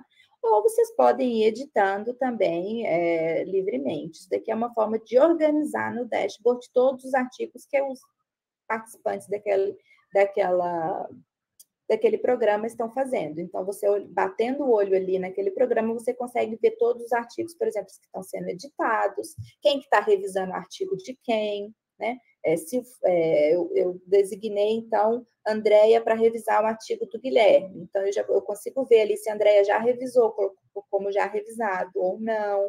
Né? Então, é uma ferramenta que também estimula é, essa revisão por pares, tá? Entre os alunos. Isso, os participantes podem incluir os artigos que estão trabalhando, ou o, o organizador também tem essa, essa autoridade de designar artigos, tá? É, então, pronto. Aí aqui no, no, canto direito, a gente sempre vai ter essa caixinha com os detalhes e os, sempre os facilitadores, que são os organizadores, vão ter esse quadradinho roxo dizendo editar os detalhes. Então, nesse, a gente vai entrar nesse, nesse pedacinho, tá? Aqui está dizendo que eu sou organizadora sozinha, a instituição Wiki Movimento Brasil, a, a, o programa, o, o, projeto principal rastreado é a Wikipédia em português. Aqui tem a lista de todos os projetos que estão sendo rastreados. Nesse caso, eu só coloquei a Wikipédia em português. É, aqui é se a gente tiver é, páginas de testes que estão sendo rastreadas.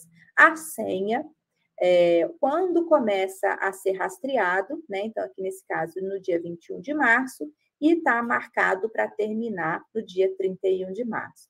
Além disso, a gente vê qual é a campanha aquele, a que aquele projeto está relacionado. Eu também vou chegar lá. Mais embaixo, a gente tem as ações disponíveis: deletar o programa, é, permitir que as pessoas façam requisições é, para poder entrar, fazer o download do relatório e também é, embedar o. Eu detesto esse verbo porque é difícil de traduzir, né? Eu sempre falo embedar, mas assim, inserir.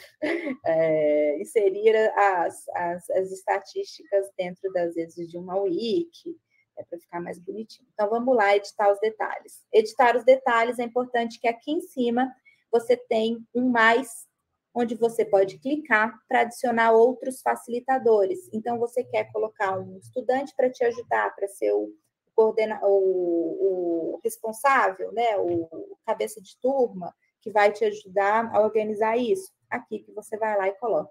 Para esse caso, a gente precisa do nome de usuário, tá? Então, a gente precisa que eles já tenham se, se inscrito na, no dashboard. Você não consegue adicionar facilitadores que não tenham se inscrito. É, então, aqui você adiciona, ou você clica aqui no mais também, vai abrir a lista de facilitadores e você consegue, pelo menos, ir tirando as pessoas que você não quer mais que sejam organizadores, tá? É, e embaixo é importante que vocês, uma outra prática bacana de etiquetas da comunidade, que vocês sempre editem isso daqui. Miscelânea é o, a categoria onde vai para onde todos os programas vão. E ela não é uma categoria de lugar nenhum né?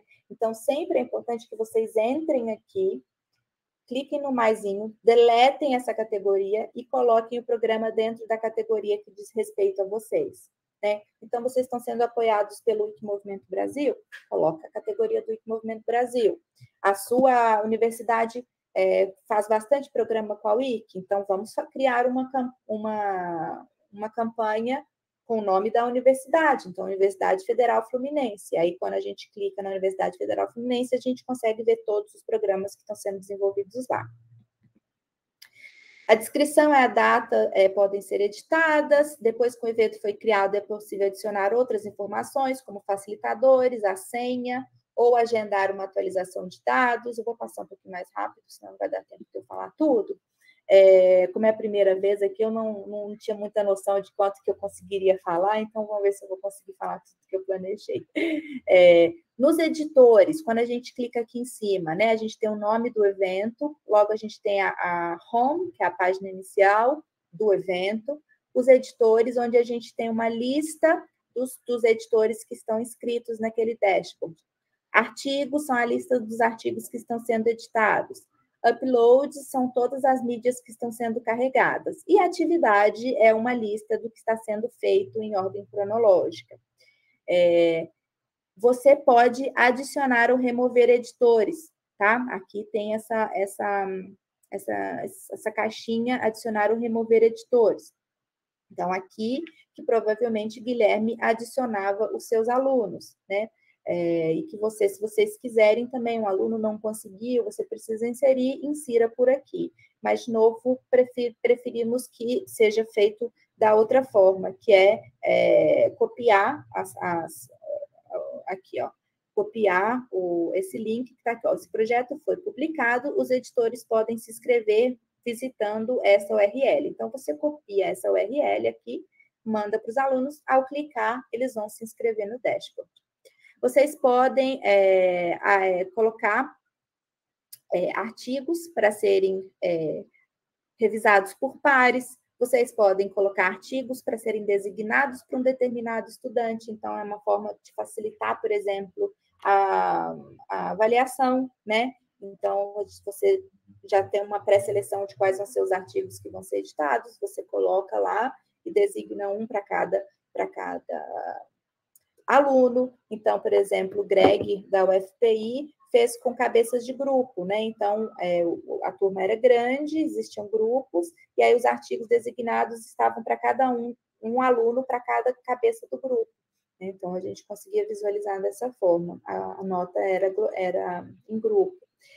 E você também pode, por fim, participar de uma campanha. Então, quando a sua universidade é, ou seu programa é, de o seu departamento faz programas Wiki, é interessante que você crie a sua própria campanha para você conseguir reunir ali todas as suas informações é, relativas ao seu aos projetos que você tem desenvolvido, tá? Então, como criar uma nova campanha? Você clica é, em criar aqui, ó, volta aqui, criar uma nova campanha. Você vai lá em participar numa campanha criar uma nova campanha, pode procurar uma campanha, se inscrever, é, ou pode criar uma nova campanha, e aí aqui tem como criar. Vocês colocam um título, é, se precisa de código de acesso, não precisa de código de acesso, e a descrição daquela campanha, tá?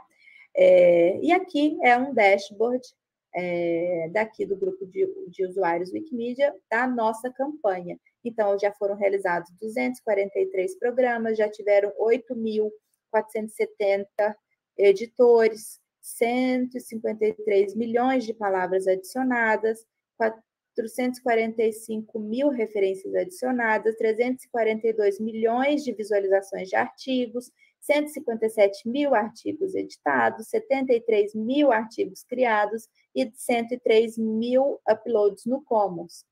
É, então, aí aqui tem todas as, as, as estatísticas gerais, gerais, depois vocês podem fuçar lá, isso é público, e é que vocês conseguem ver todos os dados relacionados à campanha e não só um programa específico. Ótimo, estamos prontos para criar os seus, os seus próprios programas de educação usando o dashboard. Era isso que eu tinha para apresentar para vocês. É, então, muito obrigada pela paciência. Não sei se ficou muito maçante essa falação. Eu, esses slides já estão disponíveis lá na nossa página. É, agora, e aí vocês podem olhar com calma, passo a passo, testar o passo a passo. Eu estou disponível para vocês tirar dúvidas. E agora vamos abrir para quem quiser perguntar para a Elisa, ou perguntar para mim, ou falar um pouco esse espaço é nosso, nós temos aqui até às sete horas, então nós temos meia hora para poder conversar. É, vamos usar a mãozinha, por favor, que daí a gente se organiza para ver quem que fala primeiro.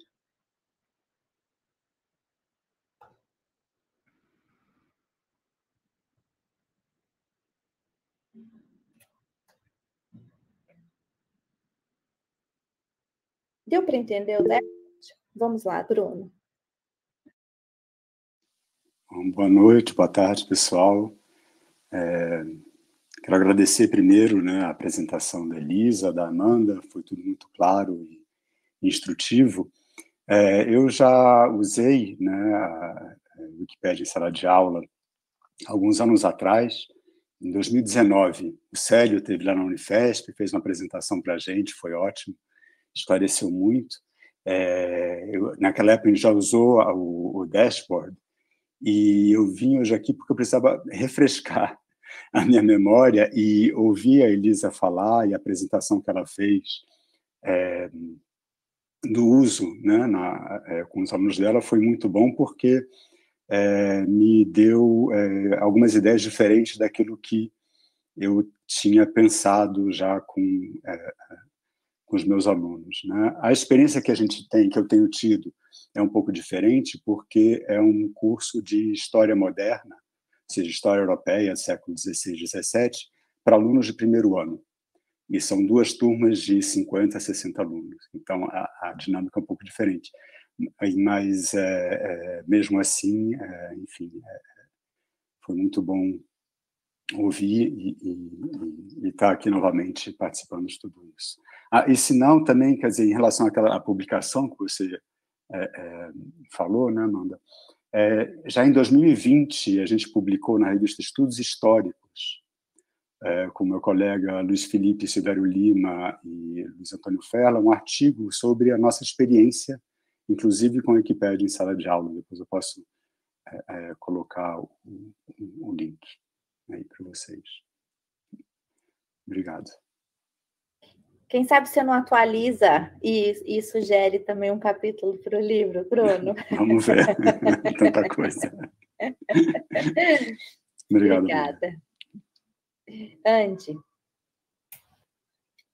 Bom, boa tarde a todos, né? Queria primeiramente agradecer a fala da Amanda e também da professora Elisa, principalmente. É, já estou acostumada a, a, ouvir a Elisa apresentar e também a trabalhar junto com ela é, no laboratório, né, sobre mulheres indígenas, é, editando a Wikipédia. E eu queria fazer um, um, comentário, mas na verdade também já aproveitar para pedir para Elisa falar um pouco mais sobre isso, né? é, que é uma questão que eu chamo assim de confluência entre o que a gente faz na história das mulheres indígenas é, e alguns debates que existem atualmente na Wikipédia, na Wikimedia, sobre a lacuna de gênero, né? E aí explicando um pouquinho melhor, né? É, na Wikimedia a gente tem uma lacuna de gênero, de participação, de conteúdo, né? O conteúdo sobre mulheres e a participação de mulheres ainda é minoritário. E muitos projetos, como o projeto Mulheres a Vermelho, é, atua né, ativamente tentando incluir, ampliar essa contribuição sobre mulheres né, e de mulheres. Mas também na historiografia, né, e aí isso eu aprendi muito com a Elisa, que foi minha professora ao longo da graduação toda e também minha orientadora, também existe, né, essas frentes de, de, falar sobre a história das mulheres, a história indígena, e a gente atua especificamente na interseção entre história das mulheres e história indígena, é, buscando pesquisar né, e aí fazer trabalhos de excelência sobre esses temas, né, então eu queria que a Elisa falasse um pouquinho mais dessa confluência e interseção de atividades.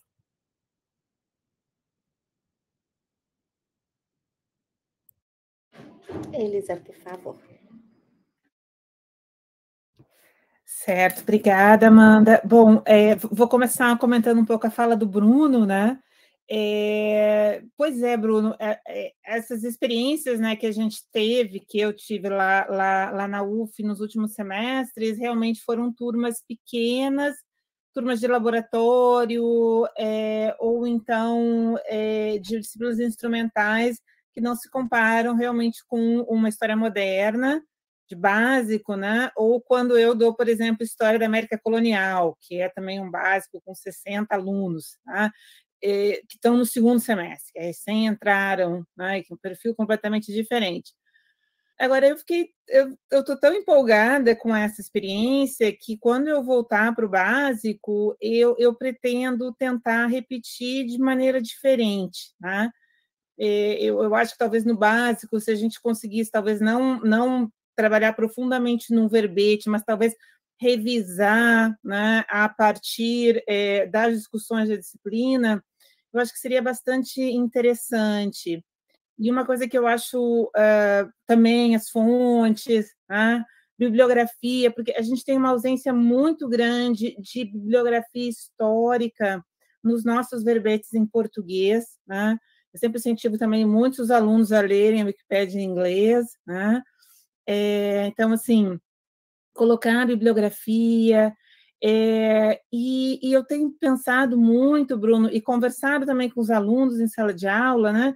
Como talvez um tipo de trabalho assim pode ser muito mais interessante do que aqueles trabalhos tradicionais que a gente sempre pediu para os alunos ah, fazer um trabalho sobre né, o Estado moderno, fazer um trabalho sobre. Né?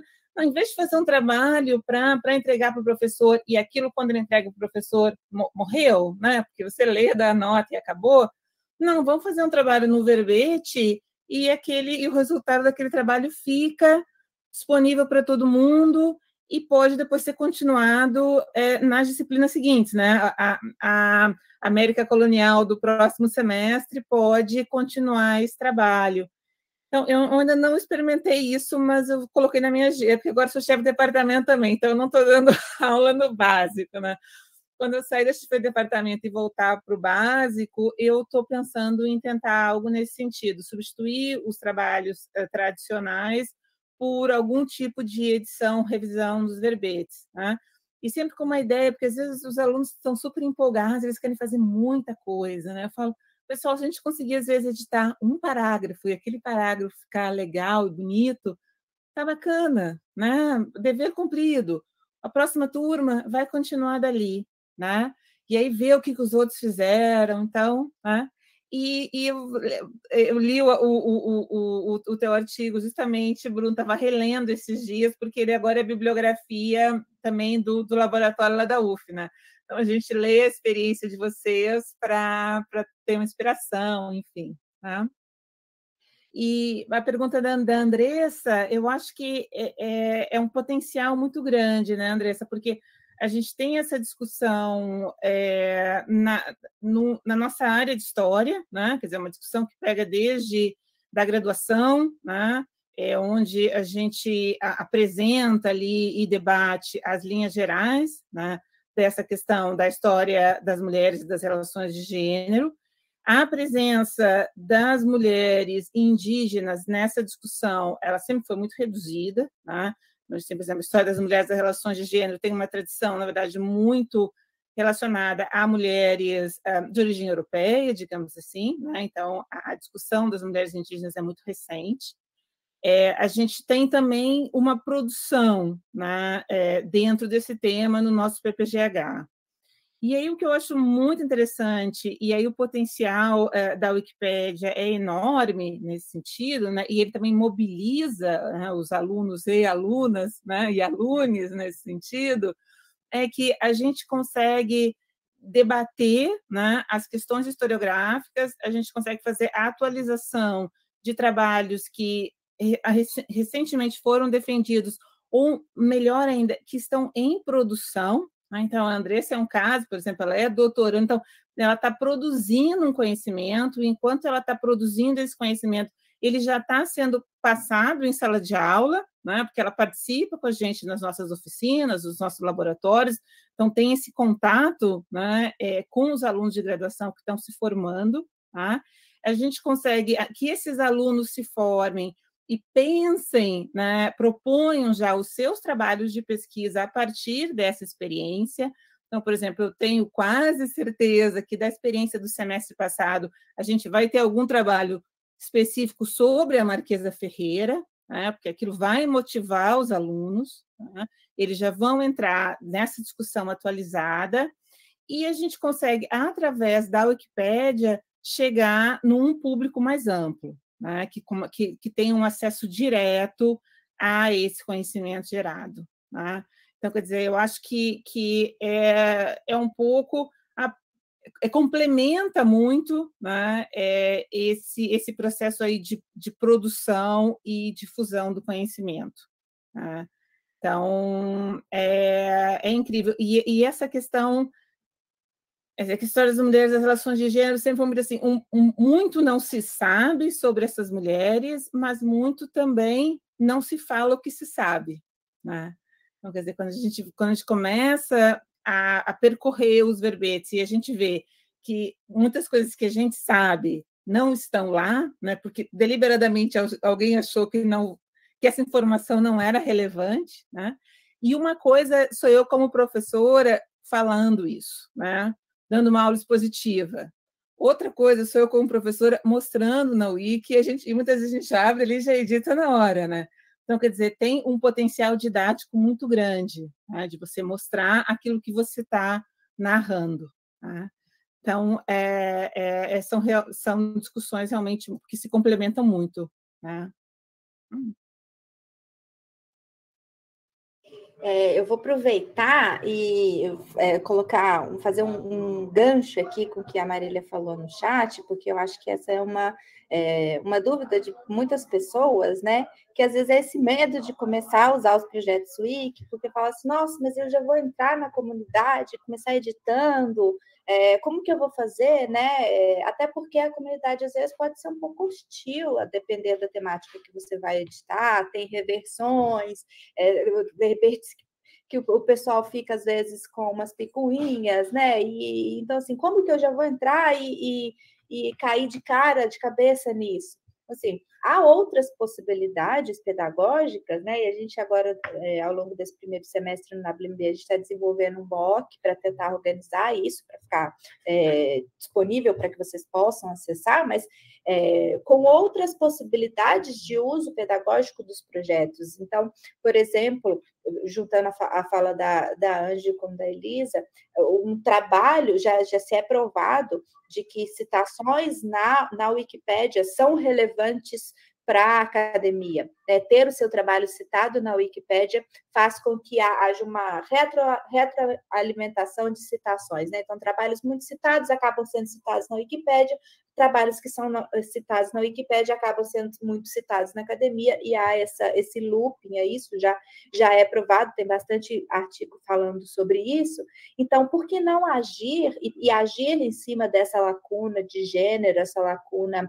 É, é, de é, a lacuna racial, lacuna de representação de, de, todas, de todas as áreas, e, por exemplo, discu, discutindo isso com os alunos do, do, primeiro semestre, que às vezes não tenham condição ainda de escrever um texto embasado para que seja colocado no verbete, mas discutir com eles, por exemplo, sobre essas lacunas e colocá-los para aumentar o número de fontes de mulheres. Então, abrir os verbetes, e a única coisa que eles vão fazer, eles não vão editar o texto, eles vão inserir fontes a mais. Então, inserir fontes de mulheres, de pessoas pretas, de pessoas LGBTQIA, de pessoas indígenas, de, de pessoas de grupos é, considerados é, minoritários, né? É, para agir especificamente nessa lacuna de representação. Essa é uma atividade que faz com que você tenha contato com os projetos Wikimedia, é uma discussão teórica, conceitual, ética muito bacana aí. É, é uma ação social bacana, você está agindo especificamente numa lacuna, gerando um resultado interessante, porque isso vai influenciar também o ciclo de citações acadêmicas e, e de circulação daquele, daquele conhecimento, e é relativamente simples de ser feito, né? Não exige é, conhecimentos muito avançados de edição por exemplo, e também não, não entra, é, é, você não bate de frente com a comunidade já na primeira vez, né? É, então, assim, turmas muito grandes, de repente, essa pode ser uma estratégia de, de dividir os alunos em grupos para que busquem referências sobre aquela temática que seja especificamente de pessoas consideradas grupos minoritários né? É, então, assim, a gente pode também tirar um dia aqui da oficina para discutir essas outras possibilidades, né, de, de projetos, mas eu queria aproveitar e falar da Marília para falar sobre isso. É, Guilherme, por favor.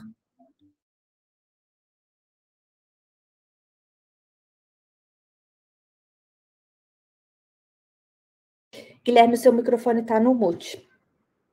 Desculpa, gente, aquele erro básico né, que a gente não consegue resolver. É, obrigado, Elisa, obrigado, Amanda, pelas apresentações, muito legal. É, Elisa, compatível uma série de, de pontos aí com as, algumas dificuldades que eu acho que é, se apresentam quando a gente vai trabalhar. Só para me apresentar rapidinho, eu, eu lidero um projeto chamado Wikidesign, é, que é para melhorar os artigos na Wikipédia sobre a história do design. E a gente tem uma, uma perspectiva de gênero muito forte, inclusive promovendo maratonas de edição é, mais mulheres, mais LGBTQIA+, na história do design. E a gente tem uma, tem uma, uma dificuldade grande que é quando a gente vai propor artigos e trazer pessoas trans, por exemplo, travestis, para a Wikipédia, né, que a gente entende que tem uma notoriedade é, muito grande, mas que o próprio julgamento da Wikipédia não incluiria essas pessoas como pessoas notórias, acho que talvez eu compartilhe com você, Elisa, nesse sentido, que a gente cai num lugar de que de uma circular que é essas pessoas não têm referências críveis e confiar, consideradas confiáveis porque elas sempre nunca tiveram visíveis.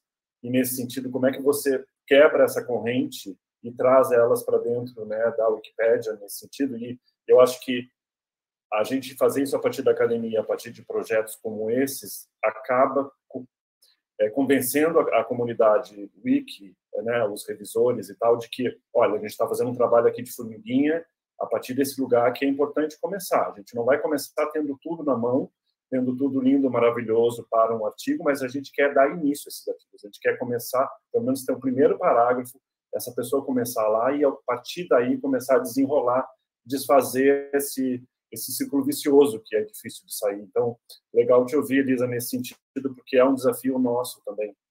E aí eu ouvi o Bruno também falando é, sobre lidar com isso, né, com, em turmas grandes e tal.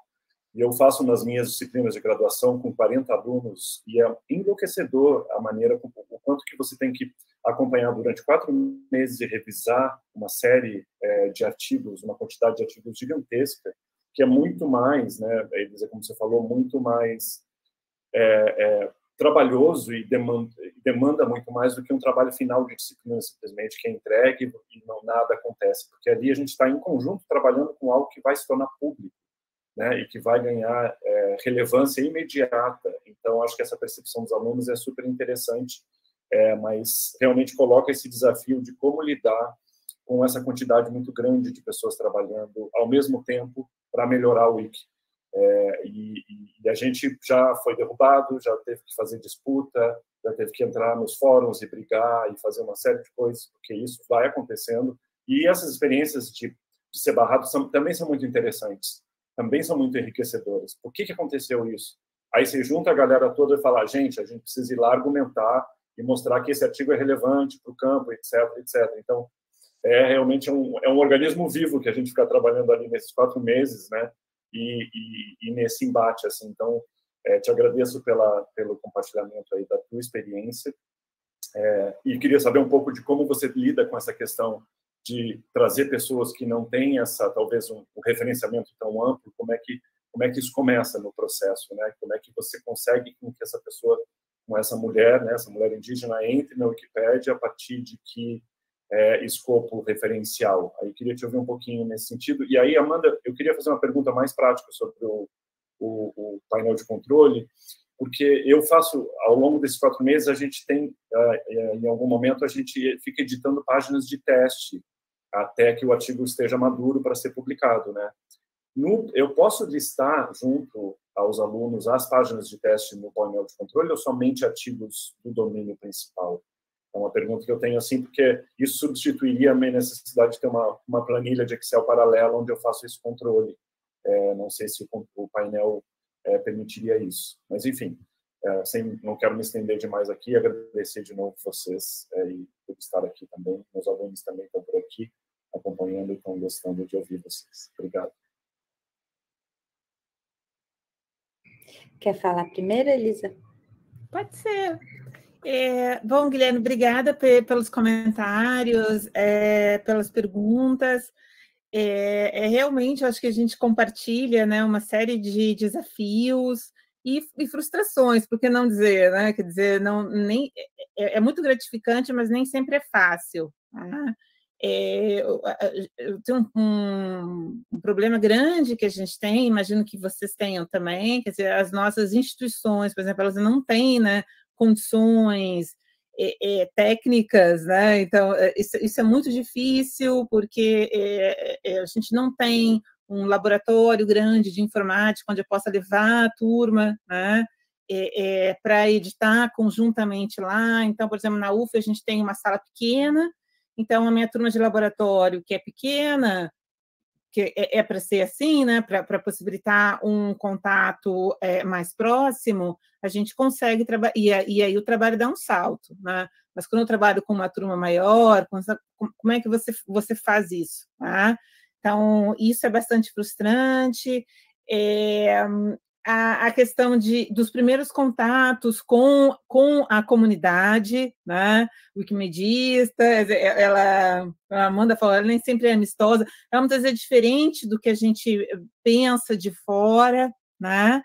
É, eu, eu fiquei surpresa com principalmente com a proposta de eliminação da página da Damiana, que nós tínhamos uma referência, né? não era nem só um trabalho acadêmico, era um trabalho acadêmico já publicado por uma editora universitária. Né? É, agora, também o nosso grupo, ele teve sorte, né? nesse, nesse contexto da Damiana, a gente teve sorte de ter a Andressa, que foi quem realmente é, nos ajudou, né? mas já na, na primeira experiência é, que eu tive editando, um dos alunos é, trabalhava para a Marinha, é, como estagiário da Marinha, editando né, páginas é, de pessoas famosas da Marinha. Né? Então, ele tinha todo o know-how já de edição, sabia muito mais que eu, né, que estava começando ali, e ele trouxe para a gente né, na turma. Então, eu acho que isso é, é, é legal também, quando você tem pessoas que você consegue trazer para te ajudarem, né? E aí eu acho que também a experiência do professor é muito legal ali, porque tem um monte de coisa que, que eu não sei, tá? E eu estou ali totalmente falando, pessoal, eu não sei, a gente vai, vai, vai aprender junto, às vezes, né? Então, isso é muito bacana, e às vezes a gente. As injustiças vão acontecer, o mundo é assim, né? Quer dizer, a gente vai lutar, a gente vai, mas a gente não vai ganhar sempre, tá? Uma coisa legal também que eu faço, que os alunos gostam muito, é muito divertido de, de responder as críticas conjuntamente, naquele processo de escrita coletiva, né? Então, como é que a gente responde isso? Ah, qual é o argumento? E, e, tudo isso é uma formação né, para a turma muito grande. Então, eu tento levar, levar para essa linha. Né? A gente está se formando, a gente está aprendendo e a gente vai fazendo o que é possível. E até o momento a gente editou mais realmente mulheres indígenas famosas, digamos assim, né? quer dizer, mulheres indígenas que têm algum trabalho acadêmico que embasem né, o, os verbetes. Já é muito complicado, porque tem a questão das imagens, é, tem discussões acadêmicas que eu ainda não encontrei como colocar num verbete, né? E aí a gente entra também numa discussão mais ampla da própria produção do conhecimento, que eu sempre tento atrelar né, toda essa discussão à própria discussão acadêmica mesmo, das minhas pesquisas e tal, né? Que eu não sou 100% da extensão, dizer, eu acho que a extensão é parte da, da, minha pesquisa como, como um todo, né? E a questão da, da biografia, porque a biografia, como nós conhecemos, né, ela foi feita para homens famosos, né?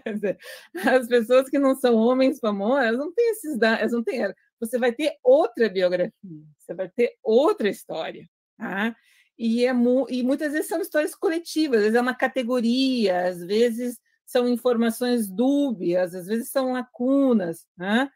E tanto na academia, como aí também na própria Wikipédia, as pessoas têm dificuldade de aceitar isso, porque elas têm essa imagem dessa biografia do homem famoso e que a gente vai conseguir fazer isso para esses outros personagens a gente não vai conseguir, justamente porque eles não são esses homens famosos. Né? Tem uma questão de poder aí em ter uma biografia. E aí entra a questão que eu acho muito legal das mulheres indígenas, inclusive de ter nome. Tá? Que muitas delas não têm nome. Não tem nome nas. Quem é que tem nome nas fontes do período colonial? Né? E o nome pró e o sobrenome. Então, né? E quando muitas conseguem ser Maria, e é isso. Né? Quando na Índia só e nada mais. Tá? Agora, por isso elas não merecem uma biografia. Tá? Como, aí a questão epistemológica, como é que a gente faz uma biografia sobre essas pessoas? Como é que a gente discute isso né, com, com outros wikimedistas? Como é que a gente discute isso na universidade? Acho que é um pouco o que a gente está tentando fazer, né? Mas é exatamente graças a pessoas como vocês dois e a outros que estão aqui hoje que as coisas vão mudando, né? assim, é, é, às vezes é difícil imaginar, mas já foi pior, né? tá tão ruim que a gente mas já foi pior, a gente está avançando, às vezes a passos mais lentos do que a gente gostaria, mas estamos avançando, né? E é importante que tenham wikimedistas que tenham esse pensamento, assim, e eu acho que outra, outra capacidade pedagógica interessante para os alunos também é, se confrontar com esse outro que às vezes eles não sabem é, que existe, né? Porque às vezes esses alunos muito novinhos acabam vivendo numa bolha e acham que todos pensam do mesmo jeito, e na hora que caem nesse mundo, apesar de ser ruim essa, essa, é, esse confronto com, com ideias muito distintas, é, nesse caso, porque são ideias que a gente não concorda, mas é legal de eles verem também de que assim, essas pessoas existem, elas estão ali e elas, infelizmente, ainda são a maioria. A gente precisa trabalhar para poder fazer, é, para colocar a público o que a gente acredita, né? É, então, assim, é, nossa, eu agradeço demais. Eu imagino que ninguém tenha mais, mais perguntas, que ninguém levantou a mão. Eu vou a responder a pergunta do Guilherme aqui. Se alguém eh, quiser fazer outra pergunta, levante a mão. A gente está é, é, se encaminhando aqui para o final. Guilherme, a, o, essa atualização nova foi feita no final do ano passado, tá?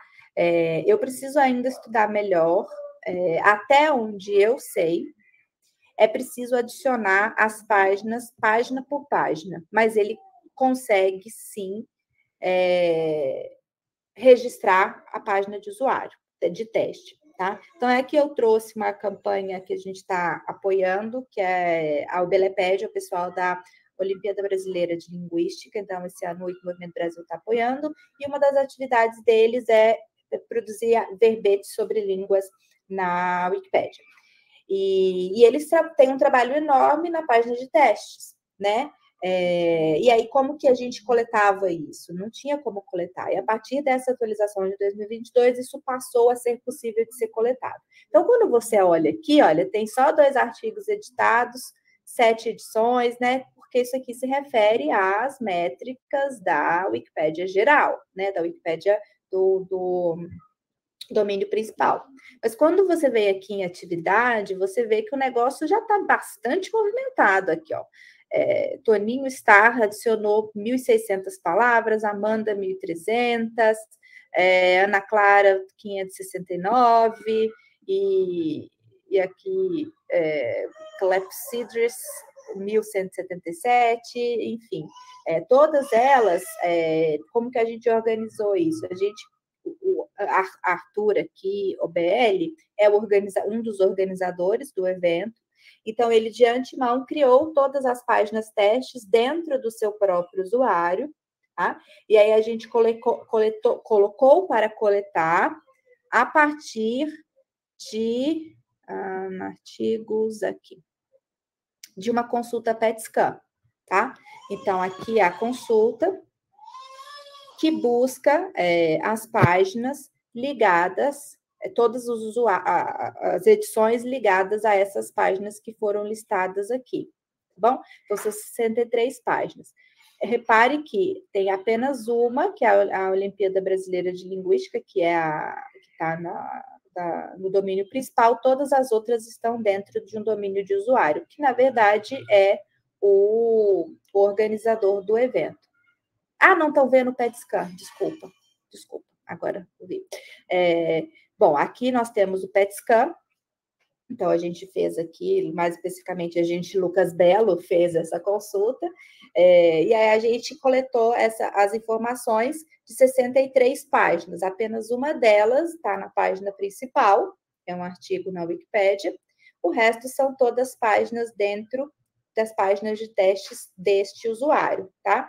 Então, assim, é, como fazer isso de forma mais prática? A gente ainda não sabe e às vezes talvez nem seja possível, porque como é uma, uma atualização muito recente, às vezes a comunidade ainda não interagiu, ainda não achou outras formas de, de propor, mas já é possível fazer dessa forma. Então, você querendo que a gente faça isso para você, a gente consegue fazer, é só você entrar em contato com a gente, a gente é, agenda isso dentro da nossa, da nossa, do nosso calendário aqui do WMB e tudo, e a gente consegue te dar esse apoio, Guilherme.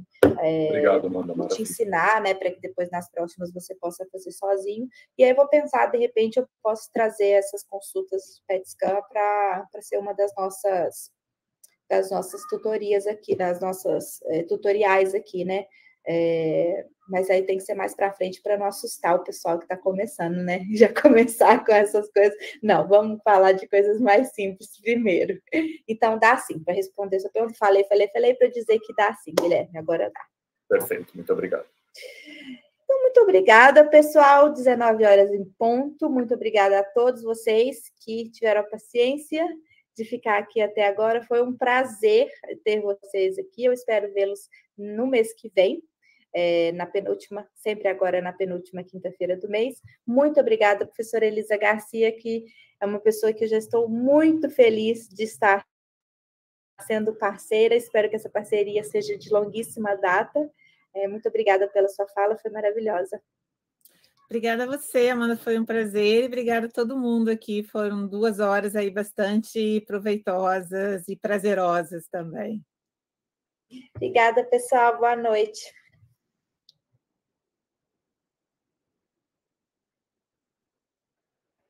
Lucas, você pode cancelar.